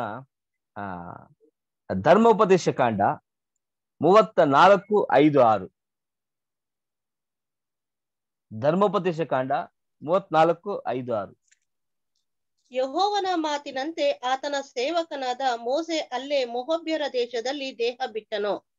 ಮೊಹಬ್ಯರ ದೇಶದಲ್ಲಿ ಬೆತ್ವಾಗೋರಿಗೆ ಎಂಬ ಎದುರಾಗಿರುವ ಕಣಿವೆಯಲ್ಲಿ ಯಹೋವನು ಅವನ ದೇಹವನ್ನು ಸಮಾಧಿ ಮಾಡಿದನು. ಅವನ ಸಮಾಧಿ ಎಲ್ಲಿದೆಯೇ, ಎಲ್ಲಿದೆಯೋ ಇಂದಿನವರೆಗೂ ಯಾರಿಗೂ ತಿಳಿದಿಲ್ಲ, ತಿಳಿಯದು. ಎಸ್ ಇಲ್ಲಿ ಮೋಶೆನ ಶರೀರವನ್ನ, ಆ, ಸಮಾಧಿನ ಇದುವರೆಗೂ ಯಾರಿಗೂ ಗೊತ್ತಿಲ್ವಂತೆ ಯಾಕೆ? ಸೈತಾನ್ಗೂ ಗೊತ್ತಿಲ್ಲ. ಅವನ ಆಕಾಶದಿಂದ ನೋಡ್ತಾ ಇದನ್ನು ಕೂಡ ಅವನಿಗೆ ಗೊತ್ತಿಲ್ಲ. ಆ ನಾವು ನಾವು ಅನೇಕ ಪಾಠಗಳಲ್ಲಿ ಕೇಳಿರ್ತೀವಿ. ಸೈತಾನು ಯೇಸು ಒಂದು ದೂತರ ಜೊತೆ ಫೈಟ್ ಮಾಡ್ತಾನೆ. ಮೋಶನ ಶರೀರಕ್ಕಾಗಿ ಫೈಟ್ ಮಾಡ್ತಾನೆ ಅಂತ ವಾಕ್ಯವನ್ನ ನಾನು ಓದ್ಬಹುದು. ಆ ರೀತಿಯಲ್ಲಿ ಸೈತಾನ್ಗೂ ಗೊತ್ತಿಲ್ಲ. ಇನ್ನು ಯಾರಿಗೂ ಗೊತ್ತಿಲ್ಲ. ಯಾರಿನ ಶರೀರ? ಮೋಶೆನ ಶರೀರ ಇದುವರೆಗೂ ಎಲ್ಲಿ ಗೊತ್ತಿಲ್ಲ, ಯಾರಿಗೂ ಗೊತ್ತಿಲ್ಲ ಅಂತ ವಾಕ್ಯ ಇದೆ. ಅದೇ ರೀತಿಯಲ್ಲಿ ಯೇಸು ಕೃಷ್ಣ ಶರೀರ ಕೂಡ, ಓದನ ಕಲಾತಿಯರ್ ಒಂದು ನಾಲ್ಕು. ಕಲಾತ್ಯರ್ ಒಂದು ನಾಲ್ಕು. ಈತನು ನಮ್ಮನ್ನು ಕೆಟ್ಟದಾಗಿರುವ ಈಗಿನ ದುಷ್ಟ ಯುಗದೊಳಗಿಂದ ಬಿಡಿಸಬೇಕೆಂದು ನಮ್ಮ ತಂದೆಯಾದ ದೇವರ ಚಿತ್ತಕ್ಕನುಸಾರವಾಗಿ ನಮ್ಮ ಪಾಪಗಳ ದೆಸೆಯಿಂದ ತನ್ನನ್ನು ಮರಣಕ್ಕೆ ಒಪ್ಪಿಸಿದನು. ಆ ಯೇಸು ಕ್ರಿಸ್ತು ಆತನು ಮರಣ ಹೊಂದಿದನು ಆದರೆ ಇದುವರೆಗೂ ಅವ್ರ ಶರೀರ ಎಲ್ಲಿದೆ ಅಂತ ಗೊತ್ತಿಲ್ಲ. ಅವರು ಪುನರತ್ವ ಆಗಿ ನಲ್ವತ್ ದಿವಸ, ಆ, ಶೀಶ್- ಶ- ಶಿಷ್ಯಂದ್ರಿಗೆ ತೋರಿಸ್ಕೊಳ್ತಾರೆ. ಆದ್ರೂ ಕೂಡ ಆ, ಅವರು ಆತ, ಆ, ಒಂದು ಮೂವತ್ತು ಮೂರುವರೆ ವರ್ಷ ಇದ್ದಂತ ಶರೀರ ಅಲ್ಲಿ ಅಲ್ಲಿ ಇರಲ್ಲ. ಸೊ ಆತ್ಮಿಕ ರೀತಿಯಲ್ಲಿ ಅವರು ಅಲ್ಲಿ ಪಡೀತಾರೆ ಅಂತ ವಾಕ್ಯಗಳ ಮುಖಾಂತರ ನಾವು ತಿಳ್ಕೊಬಹುದು.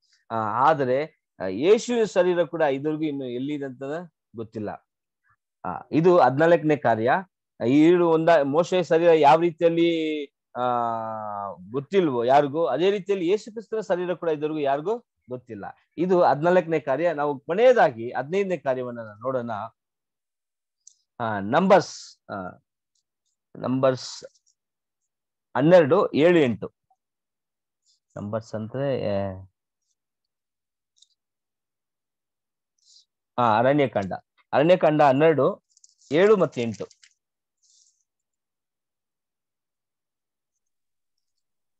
ಸುಮಾರು ಸಲ ಓದಿದೆಯಲ್ಲ ಬ್ರದರ್ ಇದನ್ನ ಮತ್ತೆನಾ?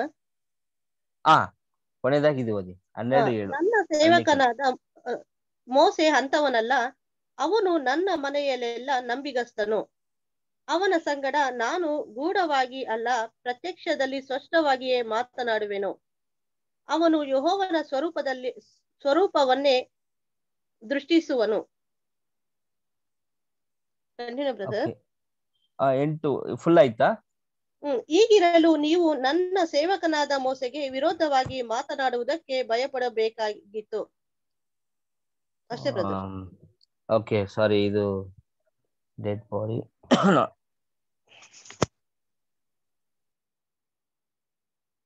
ಓಕೆ ಇಲ್ಲ ಇದು ಇದಕ್ಕೂ ಮುಂಚೆ ಇರೋ ವಾಕ್ಯ ನಾನು ಇದು ಹಿಂದೆ ಇದಕ್ ಮಾತಾಡ್ಬಿಟ್ಟೆ ಸಾರಿ ಹಾ ಇದು ಏನಂತ ಹೇಳಿದ್ರೆ ಅದೇ ನಾನು ಮುಂಚೆ ಹೇಳಿದ ರೀತಿಯಲ್ಲಿ ಬಾಡಿ ಯಾವ ರೀತಿಯಲ್ಲಿ ಸಿಕ್ಕಿಲ್ವೋ ಇದು ಅದನ್ನೇ ಸೂಚಿಸುತ್ತದೆ. ಮತ್ತಾಯ ಮೂರು ಹದಿನೇಳು ವಾಕ್ಯ ಓದೋಣ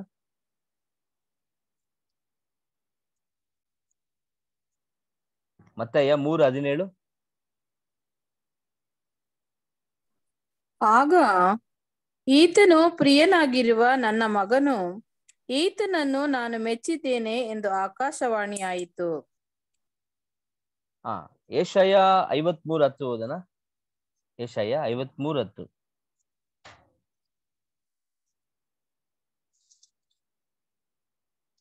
ಏಷಯ ಐವತ್ಮೂರು ಹತ್ತು. ಅವನನ್ನು ಜಜ್ಜುವುದು ಯಹೋವನ ಸಂಕಲ್ಪವಾಗಿತ್ತು. ಆತನು ಅವನನ್ನು ವ್ಯಾಧಿಯಿಂದ ಬಾಧಿಸಿ ಹೀಗೆಂದುಕೊಂಡನು.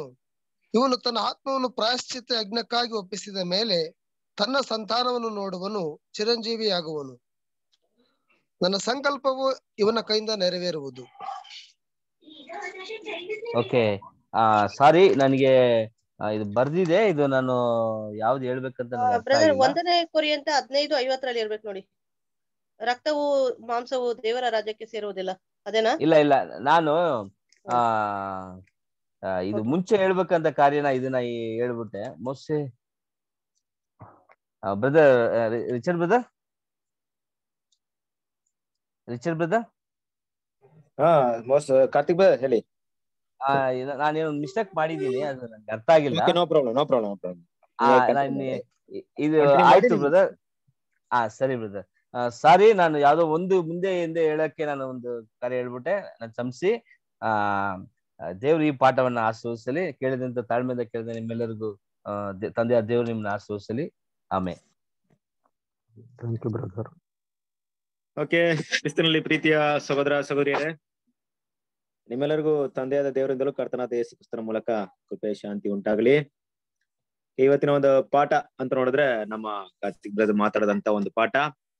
ಮೋಶೆ ಅಲ್ವಾ? ಸೊ ಮೋಶೆ ಒಂದು ಟೈಪ್ ಅನ್ನೊಂದು ಆಡಿ ಟೈಪ್ ಆಕ್ಚುಲಿ ಮೋಶೆ ಅನ್ನೋಂಥದ್ದು ತುಂಬಾ ದಿವಸಗಳಿಂದ ಕೊಟ್ಟಿದ್ವಿ. ಅದೇ ನಾವು ನಾವು ಬೇಸಿಕ್ ಕ್ಲಾಸ್ನ ಶೆಡ್ಯೂಲ್ಸ್ ಚೇಂಜ್ ಮಾಡ್ಬೇಕಾದ್ರೆ ಅವ್ರನ್ನ ಹೋಲ್ಡ್ ಮಾಡಿ ಮತ್ತೆ ಎಲ್ಲ ಬ್ರದರ್ಸ್ ಮಾತಾಡಿ, ಈಗ ಮತ್ತೆ ಬ್ರದರ್ ಅದ್ ಮಾತಾಡಿದ್ರು. ಏನೇ ಅದು ಒಂದು ಪಾರ್ಟ್ ಕಂಟಿನ್ಯೂ ಆಗಿತ್ತು. ಲಾಸ್ಟ್ ಟೈಮ್ ನೋಹ ಮತ್ತೆ ಮೋಸೆ ಆ ಒಂದು ಟಾಪಿಕ್ ಅಲ್ಲಿ. ಬಟ್ ಇವಾಗ ನೋಡ್ಬೇಕಾದ್ರೆ ಮೋಶೆ ಅನ್ನೋದು ಒಂದು ಟೈಪ್ ಆಂಟಿ ಟೈಪ್ ಅಲ್ಲಿ ನೋಡ್ಬೇಕಾದ್ರೆ ತುಂಬಾ ಮುಖ್ಯವಾದಂತ ಒಂದು ಪಾಠ. ಓಕೆ ಮೋಶೆ ಟೈಪ್ ಅಂಡ್ ಟೈಪ್ ಅಲ್ಲಿ ಖಂಡಿತವಾಗ್ಲೂ ಈಗ ಬ್ರದರ್ ಕಾರ್ತಿಕ್ ಏನೆಲ್ಲ ಮಾತಾಡೋದು ಅಂತ ನೀವು ಎಲ್ಲ ಗಮನಿಸಿರ್ತೀರಾ? ಯಾಕಂದ್ರೆ ಇದು ಬೇಸಿಕ್ ಕ್ಲಾಸ್ ಅಲ್ಲಿ ಕೂಡ ಕೇಳಿರ್ತೀರಾ? ಆ ಒಂದು ವಿಷಯದಲ್ಲಿ ನೋಡ್ಬೇಕಾದ್ರೆ ಹೇಗೆ ಮೋಶೆ ಬಂದ್ಬಿಟ್ಟು ಕಂಪ್ಲೀಟ್ ಆಗಿ ಏಸ್ ಕ್ರಿಸ್ತನ ಒಂದು ಜೀವನದ ಹಲವಾರು ಭಾಗಕ್ಕೆ ಹೊಂದಾಣಿಕೆ ಆಗ್ತಾರೆ ಅನ್ನೋ ವಿಷಯವನ್ನ ನೋಡಿದ್ವಿ. ಆ ಹೊಂದಾಣಿಕೆ ಹೇಗಿದೆ ಅಂದ್ರೆ ಮೋಶೆಗಿಂತ ಮೋಶೆನೇ ತುಂಬಾ ದೊಡ್ಡವರು. ಆ, ಪ್ರವಾದಿಗಳಲ್ಲಿ ಅಂದ್ರೆ ಮೋಶಗಿಂತ ದೊಡ್ಡ ದೊಡ್ಡ ಪ್ರವಾದಿ ಯಾರು ಇಲ್ಲ ಅಂತ ಓಲ್ಡ್ ಟೆಸ್ಟ್ಮೆಂಟ್ ನೋಡ್ತೀವಿ. ಆದ್ರೆ ಮೋಶಗಿಂತ ತುಂಬಾ ದೊಡ್ಡವರು ಯಾರಂತ ನೋಡ್ಬೇಕಾದ್ರೆ ಕರ್ತನಾದ ಯೇಸುಕ್ರಿಸ್ತನು ಅದ್ ಹೇಗೆ ಮೋಶೆಯ ಒಂದು ಗುಣಗಳು ದೊಡ್ಡ ಒಂದು ರೀತಿಯಲ್ಲಿ ಕರ್ತನಾದ ಯೇಸುಕ್ರಿಸ್ತನಿಗೆ ಹೊಂದಾಣಿಕೆ ಆಗುತ್ತೆ ಅನ್ನುವಂತ ವಿಷಯವನ್ನ ಬ್ರದರ್ ಮಾತಾಡ್ತಾರೆ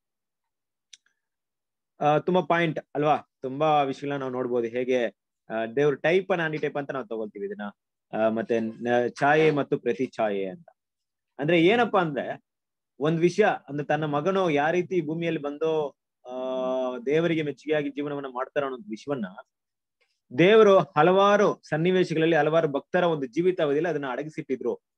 ಅದನ್ನ ನಾವು ಸಂಪೂರ್ಣವಾಗಿ ಸ್ವಲ್ಪ ಅರ್ಥ, ಸ್ವಲ್ಪ ನಾವು ಓದಕ್ಕೆ ಪ್ರಯತ್ನ ಪಟ್ಟಾಗ, ಅದ್ರ ಬಗ್ಗೆ ಇರುವಂತ ವಿಷಯಗಳನ್ನ ನಾವು ಹುಡುಕಿದಾಗ ನಮ್ಗೆ ಏನ್ ಸಿಗ್ತಾ ಇದೆ ಅಂದ್ರೆ, ಏಸು ಕ್ರಿಸ್ತನ ನಿಜವಾದ ಒಂದು ವಿಷಯಗಳನ್ನ ಅಲ್ಲಿ ಕಂಡುಹಿಡಿಯಬಹುದು. ಹಾಗೆ ನೋಡ್ಬೇಕಾದ್ರೆ ಮೋಶಲ್ಲಿ ಇದ್ದಂತ ವಿಷಯಗಳು ಹೇಗೆ ಕರೆಕ್ಟ್ ಆಗಿ ಏಸು ಕ್ರಿಸ್ತನಿಗೆ ಹೊಂದಾಣಿಕೆ ಆಗುತ್ತೆ ವಿಷಯ ವಿಷಯನ ನೋಡ್ತೀವಿ ಅಲ್ಲಿ ತುಂಬಾ ಮುಖ್ಯವಾದಂತ ಒಂದು ಪಾಯಿಂಟ್ ಏನಂದ್ರೆ ಕೊನೆ ಪಾಯಿಂಟ್ ಬ್ರದರ್ ಹೇಳಿದ್ರಲ್ಲ? ಯಾವ ಒಂದು ಪಾಯಿಂಟ್ ಹೇಳಿದ್ರು ಬ್ರದರ್ ಕೊನೆ ಪಾಯಿಂಟ್ ನಾವು ನೋಡಿದಂತ ಪಾಯಿಂಟ್ ಯಾವುದು? ಬ್ರದರ್ ಅದನ್ನು ಹೇಳಿದ್ರು ಮತ್ತೆ ಅದು ಪಾಪ ಅವ್ರದ್ದು ತಪ್ಪಲ್ಲ ಅದು ಪವರ್ ಪಾಯಿಂಟ್ ಏನೋ ಮಿಸ್ಟೇಕ್ಸ್ ಇತ್ತು. ಅವ್ರ ಇದಾಗ್ಲಿ. ಇರ್ಲಿ. ಈಗ ಬ್ರದರ್ ಮಾತಾಡಿದಂತ ಪಾಯಿಂಟ್ ಯಾವುದು? ಕೊನೆ ಪಾಯಿಂಟ್ ನೆನ್ಪಿದ್ಯಾ? ಅಂದ್ರೆ ದೇವರು ಮೋಸೆ ಹೇಗೆ ನಂಬಿಗಸ್ತನಾಗಿ ಅಲ್ಲಲ್ಲ ಇವರು ದೇಹ ಬಿಟ್ಟಿತ್ತು ಮೋಸೆ. ಓಕೆ ಮೋಸೆ ಮೋಸೆ ದೇಹ ಎಲ್ಲಿ ಸಿಗ್ಲಿಲ್ವೋ ಅದೇ ರೀತಿಯಾಗಿ ಯೇಸು ಕ್ರಿಸ್ತರ ದೇಹ ಕೂಡ ಸಿಗ್ಲಿಲ್ಲ ಅನ್ನೋದೊಂದು ವಿಷಯ. ಯಾಕೆ ಈ ಪಾಯಿಂಟ್ನ ಈ ಪಾಯಿಂಟ್ ಅಲ್ಲಿ ಏನು ಏನ್ ಯಾವ ವಿಷಯಕ್ಕೋಸ್ಕರ ಈ ಪಾಯಿಂಟ್ ನಾವು ಓದ್ತೀವಿ? ಏನಿದೆ ಈ ಪಾಯಿಂಟ್ ಅಲ್ಲಿ? ಅಂದ್ರೆ ಆ, ಯೇಸು ಸ್ವಾಮಿ ದೇಹನ ಕೊಳೆಯಕ್ ಬಿಟ್ಟಿಲ್ಲ ದೇವ್ರು ಹಾಗೆ ಒಂದು ಸ್ಥಳದಲ್ಲಿ ಇಟ್ಟಿದ್ದಾರೆ ಅನ್ನೋ ವಿಷಯ. ದೇಹವನ್ನ ಏನ್ ಅದೇ ಮಾಡಿಲ್ಲ ಟೈಪ್ ಆಂಟಿ ಟೈಪ್ ಗೋಸ್ಕರ ಮಾತಾಡ್ತೀವಿ ಬ್ರದರ್ ಓಕೆ ಟೈಪ್ ಆನಿ ಟೈಪ್ ಆದ್ರೆ ಟೈಪ್ ಆನಿ ಟೈಪ್ ಅಲ್ಲಿ ಏನಿದೆ? ಏನ್ ಪಾಠ? ಈಗ ಟೈಪ್ ಆನಿ ಟೈಪ್ ಓಕೆ ನಮ್ ದೇವ್ರು ತಿಳ್ಸ್ಕೊಡಿದ್ದಾರೆ ಟೈಪ್ ಆನಿ ಟೈಪ್ ನೋಡ್ರಿ ಮೋಸಿ ಈ ತರ ನೋಡ್ಕೊಳ್ರಿ ಕರೆಕ್ಟ್ ಆಗಿ ನೋಡ್ಕೊಳ್ಳಿ ಬರ್ತಾ ಇದೆಯಾ ಪಾಯಿಂಟ್ ಎಲ್ಲ ಕರೆಕ್ಟ್ ಆಗಿದೆಯಾ ಅಂತ ಸ್ವಲ್ಪ ಚೆಕ್ ಮಾಡ್ಕೊಳ್ಳಿ ಅಂತ ನಮ್ಗೆ ಹೇಳಿದಾರೆ. ಏನಕ್ಕೆ ಏನ್ ಪಾಯಿಂಟ್ ಇದೆ? ಏನ್ ಹೇಳಕ್ ಇಷ್ಟಪಡ್ತಾ ಇದಾರೆ? ಬ್ರದರ್ ಹೇಳ್ಬೋದಾ ಬ್ರದರ್ ಅವ್ರು ಯಾರು ಹೇಳಿ, ಹೇಳಿ. ಹೇಳಿಲ್ಲ ಅದಕ್ಕೆ. ದಯವಿಟ್ಟು ಮಾತಾಡಿ ಎಲ್ರು ಮಾತಾಡ್ಬೋದು. ಹಾ ಇಲ್ಲ ನಾನು ಕಾರ್ತಿಕ್. ಏನಂತ ಹೇಳಿದ್ರೆ ಆ ಮೋಶೆನ್ ಶರೀರವನ್ನ ಇತ್ತು ಅಂತ ಹೇಳಿದ್ರೆ ಆ ಅವ್ರಿಗೆ ಒಂದು ದೊಡ್ಡ ಸಮಾಧಿಯನ್ನ ಕಟ್ಬಿಟ್ಟು ಅವ್ ಅವ್ರನ್ನ ಒಂದು ದೇವರ ರೀತಿಯಲ್ಲಿ ಏನ್ ಸ್ವಲ್ಪ ಆರಂಭದಲ್ಲಿ ಬೇಕಾದ್ರೆ ದೇವ್ರಂತ ನೋಡಲ್ಲ. ಕಾಲ ಬರುವಾಗ ಬರುವಾಗ ಅವರು ಇವರೇ ದೇವರ ಯಹೋವ ಅಂತಾನು ಹೇಳ್ಬೋದು ಮೋಸೇನ ಅದೇ ರೀತಿಯಲ್ಲಿ ಯೇಸು ಕ್ರಿಸ್ತನು ಕೂಡ ಆ ದೇವರ ಮಗ ಅಂತ ವಾಕ್ಯ ಇದೆ ಆದ್ರೆ ಜನರು ಆ ಕಾಲದಲ್ಲಿ ಬೇಕಾದ್ರೆ ದೇವರ ಮಗ ಅಂತ ಹೇಳ್ಬೋದು. ಆದ್ರೆ ಕಾಲ ಬರುವಾಗ ಬರುವಾಗ ಇವರೇ ದೇವ್ರು ಅಂತ ಹೇಳ್ಬಹುದು ಆ- ಅದೇ ಆ ಒಂದು ಶರೀರನ ಇಟ್ಕೊಂಡು. ಸೊ ಅದರಿಂದ ಈ ಎರಡು ಶರೀರವನ್ನ ದೇವರು ಮುಚ್ಚುಮರೆ ಮಾಡಿದ್ದಾರೆ. ಸೊ ಈಗ ನೋಡ್ಬೇಕಾದ್ರೆ ಬ್ರದರ್ ಹೇಳಿದಂತ ವಿಷಯ ಒಂದ್ ಪಾಯಿಂಟ್ ಏನಂತ ನೋಡ್ಬೇಕಾದ್ರೆ ಒಂದ್ ವೇಳೆ ಮೋಶ ಶರೀರನ ಹಾಗೆ ಅವ್ರಿಗೇನೋ ಬುಕ್ ಕೊಟ್ಬಿಟ್ಟಿದ್ರೆ ಅವ್ರ ಕೈಯಲ್ಲಿ. ಮೋಶ ಅಂದ್ರೆ ತುಂಬಾ ಪ್ರೀತಿ ಅಲ್ವಾ ಅವ್ರಿಗೆ? ಈಗ ಅವರೇ ಅವ್ರಿಗೆ ಹೀರೋ ತುಂಬಾ ದೊಡ್ಡ ಹೀರೋ ಅಂದ್ರೆ ಇಸ್ರೇಲ್ ಜನರಿಗೆ. ಅವ್ರನ್ನ ಕಾಣ ಈಗ ಐಗುಪ್ತದಿಂದ ಬಿಡಿಸ್ಕೊಂಡ್ ಬಂದು ಕಾಣ ದೇಶಕ್ಕೆ ಸೇರಿಸಿದ ಒಂದು ದೊಡ್ಡ ಒಂದ್ ಕೆಲಸ ಮಾಡದಂತ ಒಂದೇ ಒಂದ್ ವ್ಯಕ್ತಿ ಏಕೈಕ ವ್ಯಕ್ತಿ ಯಾರಪ್ಪ ಅವ್ರಿಗೆ ಅಂತ ನೋಡಿದ್ರೆ ಮೋಶ್ ಅಲ್ವಾ? ಬ್ರದರ್ ಹೇಳಿದ ಪ್ರಕಾರ. ಬಟ್ ಇವರೆಲ್ಲ ಎಲ್ಲಿಂದ ಬಂದಿದ್ದಾರೆ ಈಗ? ಇಸ್ರೇಲ್ ಜನರ ಎಲ್ಲಿಂದ ಬಂದಿದ್ದಾರೆ? ಐಗುಪ್ತ ದೇಶದಿಂದ. ಐಗುಪ್ತದಲ್ಲಿ ಒಂದು ವಿಶೇಷವಾದ ವಿಷಯ ಇದೆಯಲ್ಲ ಏನಿದೆ ಆ ವಿಷಯ ಅಲ್ಲಿ ದಾಸತ್ವ. ವಿಗ್ರಹ ಆರಾಧನೆ ಜಾಸ್ತಿ ರೀ. ಅಲ್ಲಿ ಸರ್ಪ. ಇಟ್ಟಿದಲ್ಲ ಬ್ರದರ್ ಸರ್ಪನೇ ಅವ್ರು ಆ ರೀತಿ ಮಾಡ್ತಾರೆ ಮತ್ತೆ ಇವ್ರ ದೇಹನ್ ಬಿಡ್ತಾರೆ ಅನ್ನೋ ರೀತಿಯಲ್ಲಿ. ಬೇರೆ ಏನಿದೆ ಐಗುಪ್ತದಲ್ಲಿ ಸ್ಪೆಷಾಲಿಟಿ ಪಿರಮಿಡ್ ಇದೆ. ಪಿರಮಿಡ್ ಇದೆ. ನೈಲ್ ನದಿ ಇದೆ. ನೈಲ್ ನದಿ.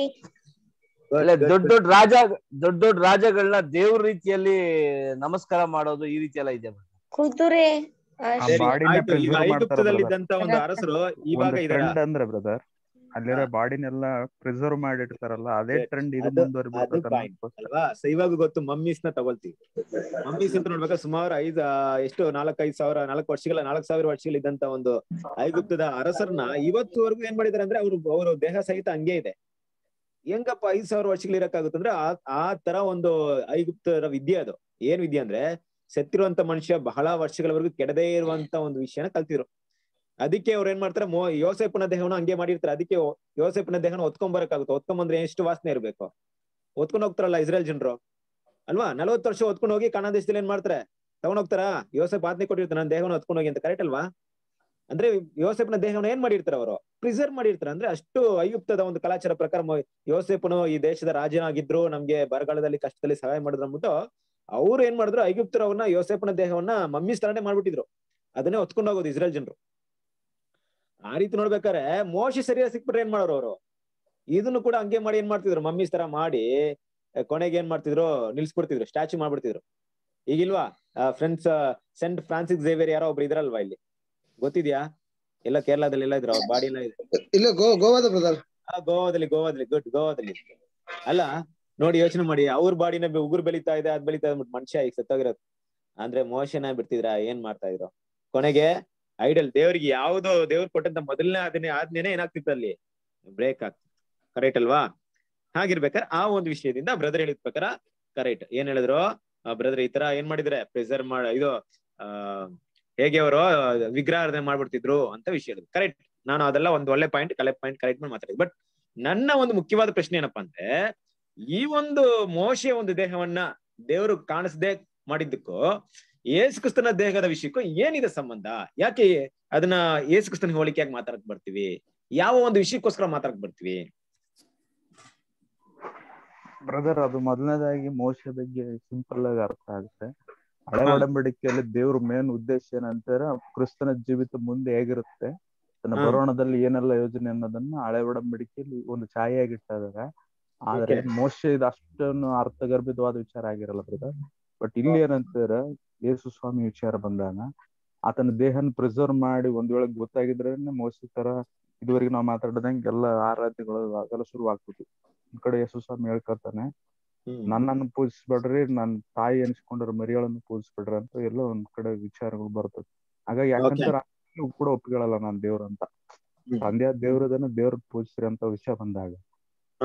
ಯಾಮಾರಿದ್ರೆ ಇದು ಮಗನನ್ನು ಪೂಜಿಸ್ತಾರ ಅನ್ನೋ ವಿಚಾರ ಒಂದಾಗ್ತದೆ. ಇನ್ನೊಂದು ಯಾಕೆ ಅದು ಇದನ್ನ ಮಾಡ್ತಾರ ಅಂದ್ರ ಆ ದೇಹ ಮೂಲದಾಗಿ ಸಂಪೂರ್ಣವಾದಂತ ದೇಹ ಹಾಳ್ ಮಾಡ್ಕೊಂಡಿರ್ತಾನೆ ಯಾರು ಆದಾಮ.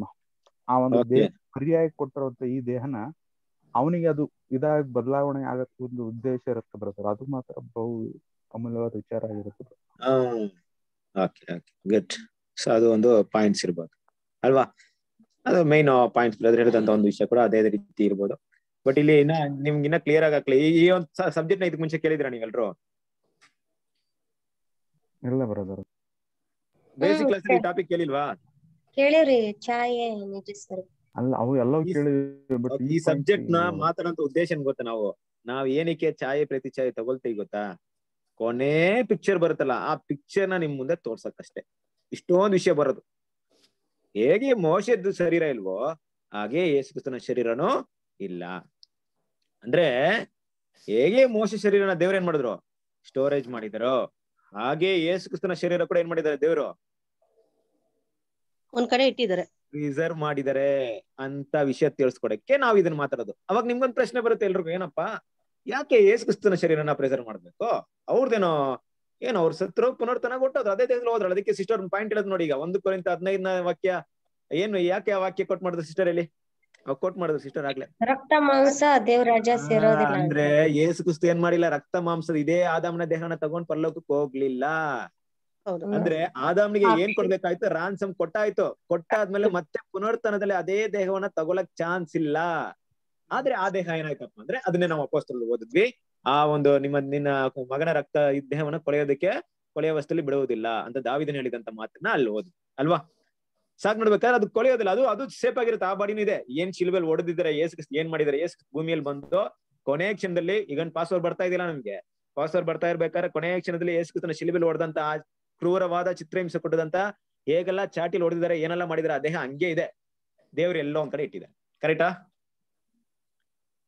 ದೇವ್ರ ಏನ್ ಮಾಡಿದ್ದಾರೆ ಅದನ್ನ? ಬ್ರದರ್ ಒಂದ್ ಕಡೆ ಎಲ್ಲ ಇಟ್ಟಿದ್ದಾರೆ, ಒಂದ್ ಕಡೆ ಇಟ್ಟಿದ್ದಾರೆ. ಇಟ್ಟಿದ್ದಾರೆ ಭೂಮಿಯಲ್ಲಿ ಕೆಲವೊಂದು ಸೀಕ್ರೆಟ್ಸ್ ಇದೆ. ದೇವರ ಸತ್ಯವೇದಲ್ಲಿರುವಂತಹ ಸೀಕ್ರೆಟ್ಸ್ ಏನೆಲ್ಲ ಗೊತ್ತಾ? ಏದನ್ ತೋಟ? ಆ? ಬೇರೆ ಏನಿದೆ ತೋಟ ಕಾಯಕ ಇಟ್ಟಿದ್ರಲ್ರಿ ಕೆರೂಬಿಯರು ಬೇರೆ ಏನಿದೆ ಬೇರೆ ಅಂದ್ರೆ ಇದುವರೆಗೂ ನಮ್ಗೆ ಮರೆ ಆಗಿರೋಂತ ವಿಷಯ ಮಂಜುಷ್ ಗುಡ್. ಮಂಜುಷ ಪೆಟ್ಟಿಗೆ. ಅಲ್ವಾ? ಏನಕ್ಕನೋ ಈ ರೀತಿ ಕೆಲವೊಂದ್ ವಿಷಯ ನಮ್ಗೆ ಇನ್ನ ಏನಾಗ್ಲಿ ದೇವ್ರು ಏನ್ ಮಾಡಿದ್ರು ಹೀಗೆ ಇದ್ರಲ್ಲೂ ಇನ್ನೊಂದು ವಿಷಯ ಯಾವ್ದಂತ ಅಂತ ನೋಡ್ಬೇಕಾರೆ ಕರ್ತನಾದ ಯೇಸು ಕ್ರಿಸ್ತನ ದೇಹ. ಗೊತ್ತಿಲ್ಲ. ಸೊ ದೇವ್ರ ಏನ್ ಮಾಡಿದಾರೆ ಅದನ್ನ ಒಂದ್ ಸರಿ ಓಪನ್ ಮಾಡ್ತಾರೆ. ಓಪನ್ ಮಾಡಿದಾಗ ಯಾರಿಗೂ ಯಾರು ನೋಡ್ತಾರೆ ಫಸ್ಟ್ ಅದನ್ನ? ಸಭೆ ಮಕ್ಕಳು ಗೊತ್ತಾಗುತ್ತಾ? ಪ್ರಕಟನೆ ಒಂದನೇ ಅಧ್ಯಾಯ ಏಳನೇ ವಚನ ಓದಿ.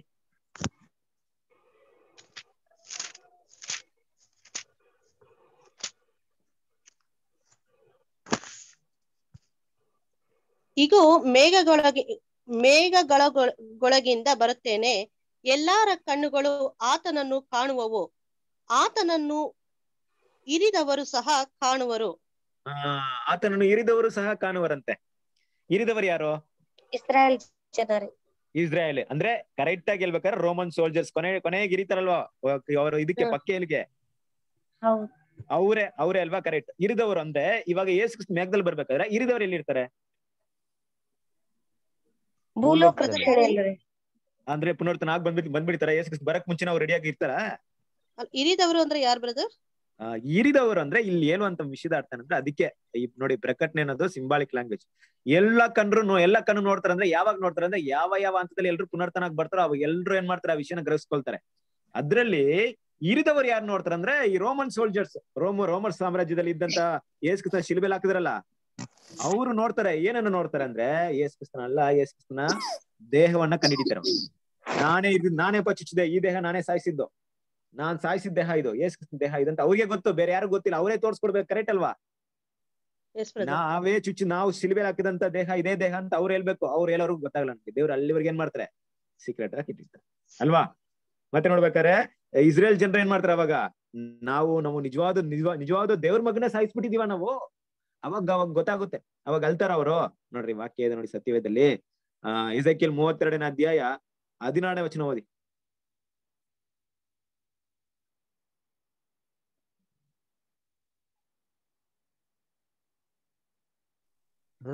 ಎಷ್ಟು ಬ್ರದರ್? ಒಂದ್ ನಿಮಿಷ. ಜಕರಿಯ ಜಕರಿಯ ಹನ್ನೆರಡನೇ ಅಧ್ಯಾಯ ಹದಿನಾಲ್ಕನೇ ವಚನ ಓದಿ.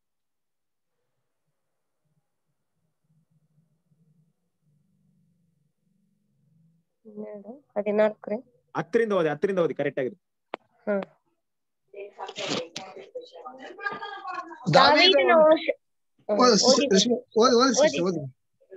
ದಾವೀದ ವಂಶದವರಲ್ಲಿಯೂ ಯೆರೂಸಲೇಮಿನವರಲ್ಲಿಯೂ ದೇವರ ದಯೆಯನ್ನು ಹಂಬಲಿಸಿ ಬೇಡುವ ಭಾರವನ್ನು ಸುರಿಸುವೆನು.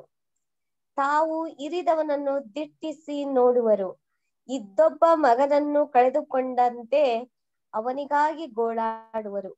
ಚೊಚ್ಚಲ ಮಗನ ವಿಯೋಗಕ್ಕೋಸ್ಕರ ದುಃಖ ಪಟ್ಟಂತೆ ಅವನಿಗಾಗಿ ದುಃಖಿಸುವರು. ಮೇಗಿದ್ದೋವಿನ ತಗ್ಗೊಳಗೆ, ತಗ್ಗಿನೊಳಗೆ, ಹದದ್ರಿಮೋನಿನಲ್ಲಿ ಗೋಳಾಟವಾಗುವಂತೆ ಯರೋಸಲೇಮಿನಲ್ಲಿ ಆ ದಿನ ದೊಡ್ಡ ಗೋಳಾಟವಾಗುವುದು. ಆ, ಇದೆಲ್ಲ ಯಾವಾಗ ನೋಡಿ, ಇದೆಲ್ಲ ಓದ್ಕೊಂಬನಿ ಹನ್ನೆರಡನೇ ಹನ್ನೆರಡು, ಹದಿಮೂರು ವಾಕ್ಯ, ಹದಿನಾಲ್ಕನೇ ವಾಕ್ಯದವರೆಗೂ ಅದೇ ಇರುತ್ತೆ. ಎಲ್ಲ ಇಸ್ರೇಲ್ ಗೋತ್ರದವರು ಏನ್ ಮಾಡ್ತಾರಂತೆ? ಗೋಳಾಡ್ತಾರಂತೆ. ಏನಂದ್ರೆ, ಅಲ್ವಾ, ನಾವು ಸಾಯಿಸಿದಂತ ಕರ್ತನಾದ, ನಾವು ಸಾಯಿಸಿದಂತ ಬೇರೆ ಯಾರು ಅಲ್ಲ. ಇವತ್ತು ಎರಡನೇ ಬರುವಿಕೆಯಲ್ಲಿ ಬಂದು ನಮ್ಮನ್ನ ಬಿಡಿಸಿದಂತ ನಮ್ಮ ರಕ್ಷಕನಾದ ಯೇಸು ಕ್ರಿಸ್ತನು ಮಾಂಸದಲ್ಲಿ ಬಂದಿದ್ರು ನಮ್ಮ ಜೊತೆಯಲ್ಲಿ. ನಾವು ಅವ್ರನ್ನ ಗೊತ್ತಿಲ್ಲದೆ ಏನ್ ಮಾಡಿದ್ವಿ? ಸಾಯಿಸಿದ್ವಿ. ಅದು ದೇಹ ಇದೆ, ಅವರ ದೇಹ ಇದೆ ಅಂತ ಅವಾಗ ಸತ್ಯ ಗೊತ್ತಾಗಿತ್ತೆ. ರಾನ್ಸಮ್ ಕೊಟ್ಟಿದ್ರು ಅವರು. ರಾನ್ಸಮ್ ಕೊಡೋಕೋಸ್ಕರ ಅವ್ರು ಸತ್ತೋಗಿದ್ದಾರೆ. ಈಗ ಆ ದೇಹ ಅವ್ರು ತಗೊಂಡಿಲ್ಲ, ಅವ್ರ ಮಹಿಮೇಲೆ ಇದಾರೆ ಆದಮ್ಗೆ ಕೊಟ್ಟದ ದೇಹ ಇಲ್ಲಿದೆ. ಹೌದಪ್ಪ ನಾವೇ ಸಾಯಿಸಿದೀವಿ ದೇಹನ ನಾನು ನಾವು ತಿವದ್ ತಿವದನ್ನ ಅವ್ರು ನೋಡ್ತಾರೆ. ನೋಡಿ ಏನ್ ಮಾಡ್ತಾರೆ? ಎಲ್ರು ಗೋಲಾಡ್ತಾರೆ ಕರೆಕ್ಟಾ? ಆ? ತಿವದವನು ನೋಡುವಂತ ನೋಡ್ಬೇಕಾರೆ ತಿವದವ್ರು ಇಸ್ರೇಲ್ ಜನ ಎರಡನೇದಾಗಿ ರೋಮನ್ ಜನ. ಸೊ ಅವ್ರಿಗೆ ಗೊತ್ತಾಗುತ್ತೆ ಆ ದೇಹ ಅಲ್ಲಿವರೆಗೂ ದೇವ್ರು ಅದನ್ನ ಇಟ್ರು ಗೊತ್ತಾಗುತ್ತಾ? ಈಗ ನಮ್ ಮುಂದೆ ಆ ದೇಹ ಇಟ್ರು ನಮ್ ಕಂಡಿಡಿಯಕಾಗುತ್ತಾ ಇಲ್ಲ. ನಮ್ಗೆ ನಾವ್ ಏಸು ದೇಹ ನಮ್ಗೆ ಗೊತ್ತಿಲ್ಲ. ನೋಡಿಲ್ಲಪ್ಪ ನಾವು ತಿವಿದಿಲ್ಲ ತಿವುದವ್ರು ನೋಡ್ಬೇಕು ತಿವುದವ್ರು ಸಾಕ್ಷಿ ಹೇಳ್ಬೇಕು. ನೋಡಪ್ಪ ನಾವೇ ತಿವ್ದಿದ್ದು ಇದೇ ದೇಹ ಅದು. ದೇವ್ರ ಏನ್ ಮಾಡಿದಾರೆ ಅದನ್ನ? ಪ್ರಿಸರ್ವ್ ಮಾಡಿಟ್ಟಿದ್ದಾರೆ. ಇಡೀ ಇಸ್ರೇಲ್ ಜನ ಒಂದ್ಸರಿ ಗೋಳಾಡ್ತಾರೆ ನೋಡಿ. ಅದಕ್ಕೆ ವಾಕ್ಯ ಏನ್ ಹೇಳ್ತಿದೆ? ಇದ್ದೊಬ್ಬ ಮಗನನ್ನ, ಇದ್ದಿದ್ದೇ ನಮ್ಗೆ ಒಂದೇ ಒಂದ್ ಮಗ, ಒಬ್ಬೇ ದೇವರ ಮಗ ನಮ್ಗೆ ಕೊಟ್ಟಿದ್ ದೇವ್ರು. ಆ ಮಗ ಕಲ್ಕೊಂಡಂಗೆ ಹೆಂಗ್ ಗೋಳಾಡ್ತಾರೋ ಆ ರೀತಿ ಗೋಳಾಡ್ತಾರಂತ ನೋಡಿ ಇಸ್ರೇಲ್ ಜನ ಅವತ್ತು. ನಾವೇ ಮಾಡ್ಬಿಟ್ಟಿದೀವಲ್ಲಪ್ಪ, ನಾವೇ ನಮ್ ಕೈಯಿಂದ ಸಾಯಿಸಾಕಿದೀವಿ ಅವ್ರನ್ನ, ನನ್ ರಕ್ಷಕನ ಸಾಯಿಸಿದೀವಿ. ಅಲ್ವಾ? ನೋಡ್ರಿ ಯೋಸೇಪನ ಕಡೆ ಕೊನೆ ಕಂಡಿಡಿತಾರಲ್ವಾ? ಕಂಡಿಡಿದಾಗ ಏನ ನಾನೇ ಅಲ್ವಾ ನನ್ ನನ್ ತಮ್ಮನ್ನ ಸಾಯಿಸಕ್ ಹೋದೆ. ಅವನು ಇವತ್ತು ಹಿಂಗಿದಾನೆ ರಾಜನಾಗ್ ಬಂದಿದ್ದಾನೆ. ಆದ್ರೆ ನನ್ ಕೈಯಿಂದ ಅವತ್ತು ಅವ- ಆತರ ಕೆಲಸ ಮಾಡ್ದೆ ಅಂತ ಎಷ್ಟು ಫೀಲ್ ಮಾಡ್ಕೊಂಡ್ರು. ಅದೇ ತರ ಇಡೀ ಲೋಕ ಏನ್ ಮಾಡ್ತಂದ್ರೆ ಇಡೀ ಲೋಕ ಅಲ್ಲ, ಇಸ್ರೇಲ್ ಜನ ಏನ್ ಮಾಡ್ತಾರಂದ್ರೆ ಕ್ರಿಸ್ತನನ್ನ ನಾವು ಸಾಯಿಸಿದ್ವಲ್ಲ, ನಮ್ಮ ಮೇಸಿಯಾನೇ ನಾವು ಸಾಯಿಸ್ಬಿಟ್ಟಿದೀವಿ ಗೊತ್ತಿಲ್ಲದೆ ತಿಳಿದೆ ಮಾಡಿದೀವಿ ಅಂತ ಅವತ್ತು ಗೋಳಾಡ್ತಾರಂತೆ. ಅಲ್ವಾ? ಹೆಂಗ್ ಗೋಲಾಡ್ತಾರೆ ತಿವದನ್ನ ದಿಟ್ಟಿಸಿ ನೋಡ್ತಾರೆ ಅವಾಗ ಕರೆಕ್ಟ್ ಇದೇ ದೇಹ ಅದು ಅಂತ. ಕರೆಕ್ಟ್ ಅಲ್ವಾ? ಪುನರ್ತನದಲ್ಲಿ ಬಂದಾಗ ಅದೆಲ್ಲ ಇರುವಂತ ವಿಷಯ. ಇದಕ್ಕೋಸ್ಕರ ನಾವು ಈ ಒಂದು ಮೋಸೆ ಟೈಪ್ ಸಬ್ಜೆಕ್ಟ್ನ ತಗೊಳ್ತೀವಿ. ಏನಕ್ಕೆ ಅಂದ್ರೆ ಹಾಗಿರ್ಬೇಕಾದ್ರೆ ಏಸು ಕ್ರಿಸ್ತನ ಶರೀರ ಇಲ್ಲೇ ಇರ್ಬೇಕಾದ್ರೆ ಬಂದಿರೋರು ಯಾರು? ಎರಡನೇ ಬರುವಿಕೆಯಲ್ಲಿ. ಹೌದು, ಅದು ಏಸು ಕ್ರಿಸ್ತನೇ ಅದೇಂಗ್ ಬರಕ್ಕಾಗುತ್ತೆ? ಹೌದು. ಅದಕ್ಕೆ ಇಬ್ರಿಯದವರಿಗೆ ಹತ್ತನೇ ಅಧ್ಯಾಯ ನಾಲ್ಕನೇ ವಚನದಲ್ಲಿ ಓದ್ತೀವಿ. ಏನಂತ ಓದ್ತೀವಿ? ದೇವರೇ, ನೀನು ನನಗೆ ಒಬ್ಬ ಒಂದು ಶರೀರವನ್ನು ಸಿದ್ಧ ಮಾಡಿದ್ದೀಯ ಅಂತ. ನೀನ್ ಕೊಟ್ಟಿದಂತ ಶರೀರ ಏನಕ್ಕಂದ್ರೆ ಆದಾಮಿಗೆ ಕೊಡುವಂತ ಒಂದು ಇಡುಬಲಿ ಕೊಟ್ಬಿಟ್ಟಿದೀನಿ ಮತ್ತೆ ಅದನ್ನ ತಗೊಳಲ್ಲ. ಅದು ಕೊಟ್ಟಾಯ್ತು. ಅದು ತಗೊಳ್ಳಂತ ಅವಶ್ಯಕತೆ ಇಲ್ಲ. ಯಾಕಂದ್ರೆ ನಾನು ಈ ಭೂಮಿಗೆ ಇರೋನಲ್ಲ, ನಾನು ಪರಲೋಕಕ್ಕೆ ಹೋಗ್ಬೇಕು. ನಾನು ಏನಕ್ಕೆ ಬಂದಿದ್ದ ನನಗೊಂದು ದೇಹ ಸಿದ್ಧ ಮಾಡಿಕೊಟ್ಟಿದ್ದೀರಾ?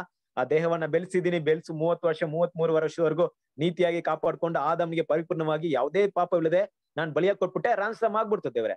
ಮುಗೀತು. ಅದಕ್ಕೆ ಏಸು ಕ್ರಿಸ್ತು ಪುನರ್ತನ ಬಂದ್ಮೇಲೆ ಯಾರಾದ್ರೂ ಅವ್ರನ್ನ ಕಂಡಿಡಿಯಕ್ಕಾಗುತ್ತಾ ಕಂಡಿಡಿಯಕ್ಕಾಗಲ್ಲ ನೋಡಿ. ತೋಮ ಹೇಳಿದ್ರೆ ಮಾತ್ರ ಗೊತ್ತಾಗುತ್ತೆ. ತೋಮ ಏನ್ ಮಾಡ್ತಾರ ಅವಾಗ?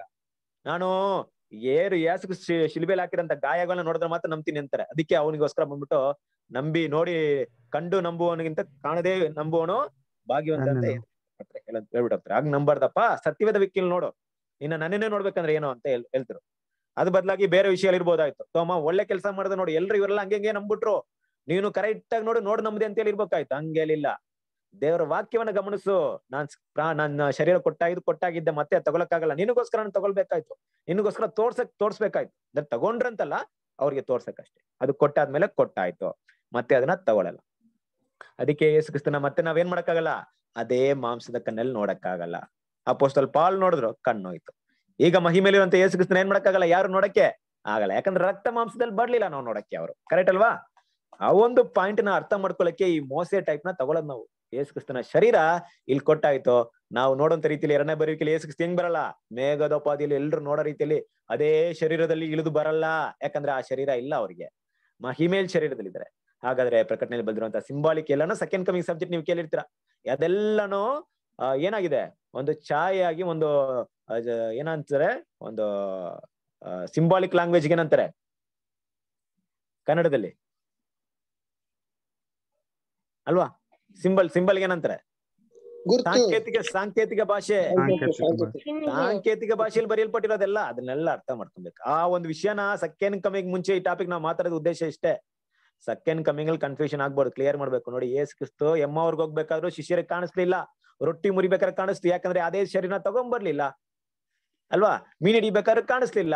ಆ, ಅವ್ರು ಮಾತಾಡುವಂತ ವಾಯ್ಸ್ನ ನೋಡಿ ಪೇತ್ರ ಏನ್ ಮಾಡ್ತಾರೆ? ನೀರಿಗೆ ಧುಮುಕ್ತಾರೆ. ಮಕ್ಕಳಿರಾ ಅಂತ ಹೇಳಿದಾಗ, ಓ, ಇದು ನನ್ನ ಗುರುವಿನ ಮಾತು ಅಂತ ಕಂಡಿಡಿತಾರೆ ಮಾತನ್ನ ಕಂಡಿಡಿತಾರೆ ಅವ್ರ ರೊಟ್ಟಿ ಮುರಿಯೋದ ಸ್ಟೈಲ್ ಕಂಡಿಡಿತಾರೆ ಆ ಮಾರ್ತಲ್ಲಿ ಹೋಗಿ ಕಂಡಿ ಇಟ್ಕೊಂಡ್ಬಿಡ್ತಾರೆ ಏಸು ಕ್ರಿಸ್ತನ ಗೊತ್ತಾಗಲ್ಲ. ತೋಟಗಾರ ಅಂತ ತಿಳ್ಕೊಂತಾರೆ. ಆ ರೂಪದಲ್ಲಿ ಬರಲ್ಲ ಅವ್ರು. ಇದೆಲ್ಲ ವಿಷಯ ಏನಂದ್ರೆ ಈ ಒಂದು ಟಾಪಿಕ್ ಅಲ್ಲಿ ಇರುವಂತ ವಿಷಯ. ಅದು ಮೇನ್ ಆಗಿ ಇದನ್ನ ತಿಳಿಸ್ಬೇಕಂದ್ಬಿಟ್ಟು ನೀವು ಇದನ್ನ ಅರ್ಥ ಮಾಡ್ಕೊಬೇಕು ಓಕೆ ಹಾಗಾಗಿ ಬ್ರದರ್ ಕೂಡ ಏನ್ ಮಾಡಿದ್ರು, ಈ ಒಂದು ವಿಷಯನ ತುಂಬಾ ಕ್ಲಿಯರ್ ಆಗಿ ಅದನ್ನ ಮಾತಾಡಿದ್ರು. ಸೊ ಹೈಲೈಟ್ಸ್ ಆಗಿರುವಂತ ಒಂದು ಟಾಪಿಕ್ ಏನಂದ್ರೆ ಕೊನೆ ನಮ್ಮ ಕರ್ತನ ಕ್ರಿಸ್ತನ ದೇಹ ಏನಾಯ್ತು? ಮೋಶ ದೇಹ ಹೇಗೆ ಕಾಪಲ್ಪಟ್ಟಿದೆಯೋ ಕರ್ತನ ಕ್ರಿಸ್ತನ ದೇಹ ಕೂಡ ಹಾಗೆ ಇದೆ. ಒಂದು ದಿನ ದೇವರು ಎಲ್ಲವನ್ನ ಚುಚ್ಚಿದವರು ನೋಡಕ್ಕೆ ಅದನ್ನ ಇಟ್ಟಿದ್ದಾರೆ. ಅವ್ರು ನೋಡ್ಲಿ, ನಮ್ಗೋಸ್ಕರ ಅಲ್ಲ, ನೀವೇ ಚುಚ್ಚಿದ್ರಲ್ವಾ? ನೀವೇ ನೋಡ್ಕೊಳ್ಳಿ. ಈ ದೇಹ ಇಲ್ಲೇ ಇದೆ. ಕರ್ತನ ಯೇಸು ಕ್ರಿಸ್ತನ ಆಲ್ರೆಡಿ ಬಂದಿದ್ದಾನೆ. ನಿಮ್ಗೋಸ್ಕರ ಮಿಟ್ ರಾನ್ಸಮ್ ಕೊಟ್ಟಿದ್ದಾರೆ ಅನ್ನೋದನ್ನ ತಿಳ್ಕೊಳ್ಳಿ ಅಂತ ದೇವ್ರು ಇಟ್ಟಿದ್ದಾರೆ. ಆ ಟೈಮಲ್ಲಿ ಅವ್ರಿಗೆ ಅವ್ರ ಕಣ್ಣನ್ನ ಓಪನ್ ಮಾಡಕ್ಕೆ ದೇವರು ಅದನ್ನ ಇಟ್ಟಿದ್ದಾರೆ. ಇಸ್ರೇಲ್ ಜನರಿಗೋಸ್ಕರ ಇಟ್ಟಿದ್ದಾರೆ ಅಷ್ಟೇ ನಮ್ಗೋಸ್ಕರ ಅಲ್ಲ. ಓಕೆ ಹಾಗಾಗಿ ಒಂದು ಪಾಠವನ್ನ ಸಹೋದರ ನಮ್ಗೆ ಸ್ಪಷ್ಟವಾಗಿ ಹೇಳಿದ್ದಾರೆ. ಆದಷ್ಟು ವಿಷಯಗಳನ್ನ ಕವರ್ ಮಾಡಿದರೆ ಸೊ ಥ್ಯಾಂಕ್ ಯು ನಮ್ಮ ಕಾರ್ತಿಕ್ ಬ್ರದರ್ಗೋಸ್ಕರ ಪ್ರಾರ್ಥನೆ ಮಾಡ್ಕೊಳ್ಳಿ. ಇನ್ನು ದೇವರ ಸತ್ಯಗಳನ್ನ ಇನ್ನೂ ಹೆಚ್ಚಾಗಿ ಬರುವಂತ ದಿನಗಳಲ್ಲಿ ದೇವರ ಮಕ್ಕಳಿಗೆ ಹೇಳುವಂತ ರೀತಿಯಲ್ಲಿ ದೇವರ ಅವ್ರನ್ನ ಇನ್ನೂ ಹೆಚ್ಚಾಗಿ ನಡೆಸಲಿ ಅಂತ ಪ್ರಾರ್ಥನೆ ಮಾಡ್ಕೊಳ್ಳೋಣ. ಕೊನೆಯದಾಗಿ ಈ ಒಂದು ಕೂಟವನ್ನ ಪ್ರಾರ್ಥನೆ ಮಾಡಿ ಮುಗಿಸೋಣ. ನಮ್ಮ ಮಧ್ಯದಲ್ಲಿರುವಂತ ಕುಮಾರ್ ಬ್ರದರ್ ಕುಮಾರ್ ಬ್ರದರ್ ಇದ್ದೀರಾ ಲೈನಲ್ಲಿ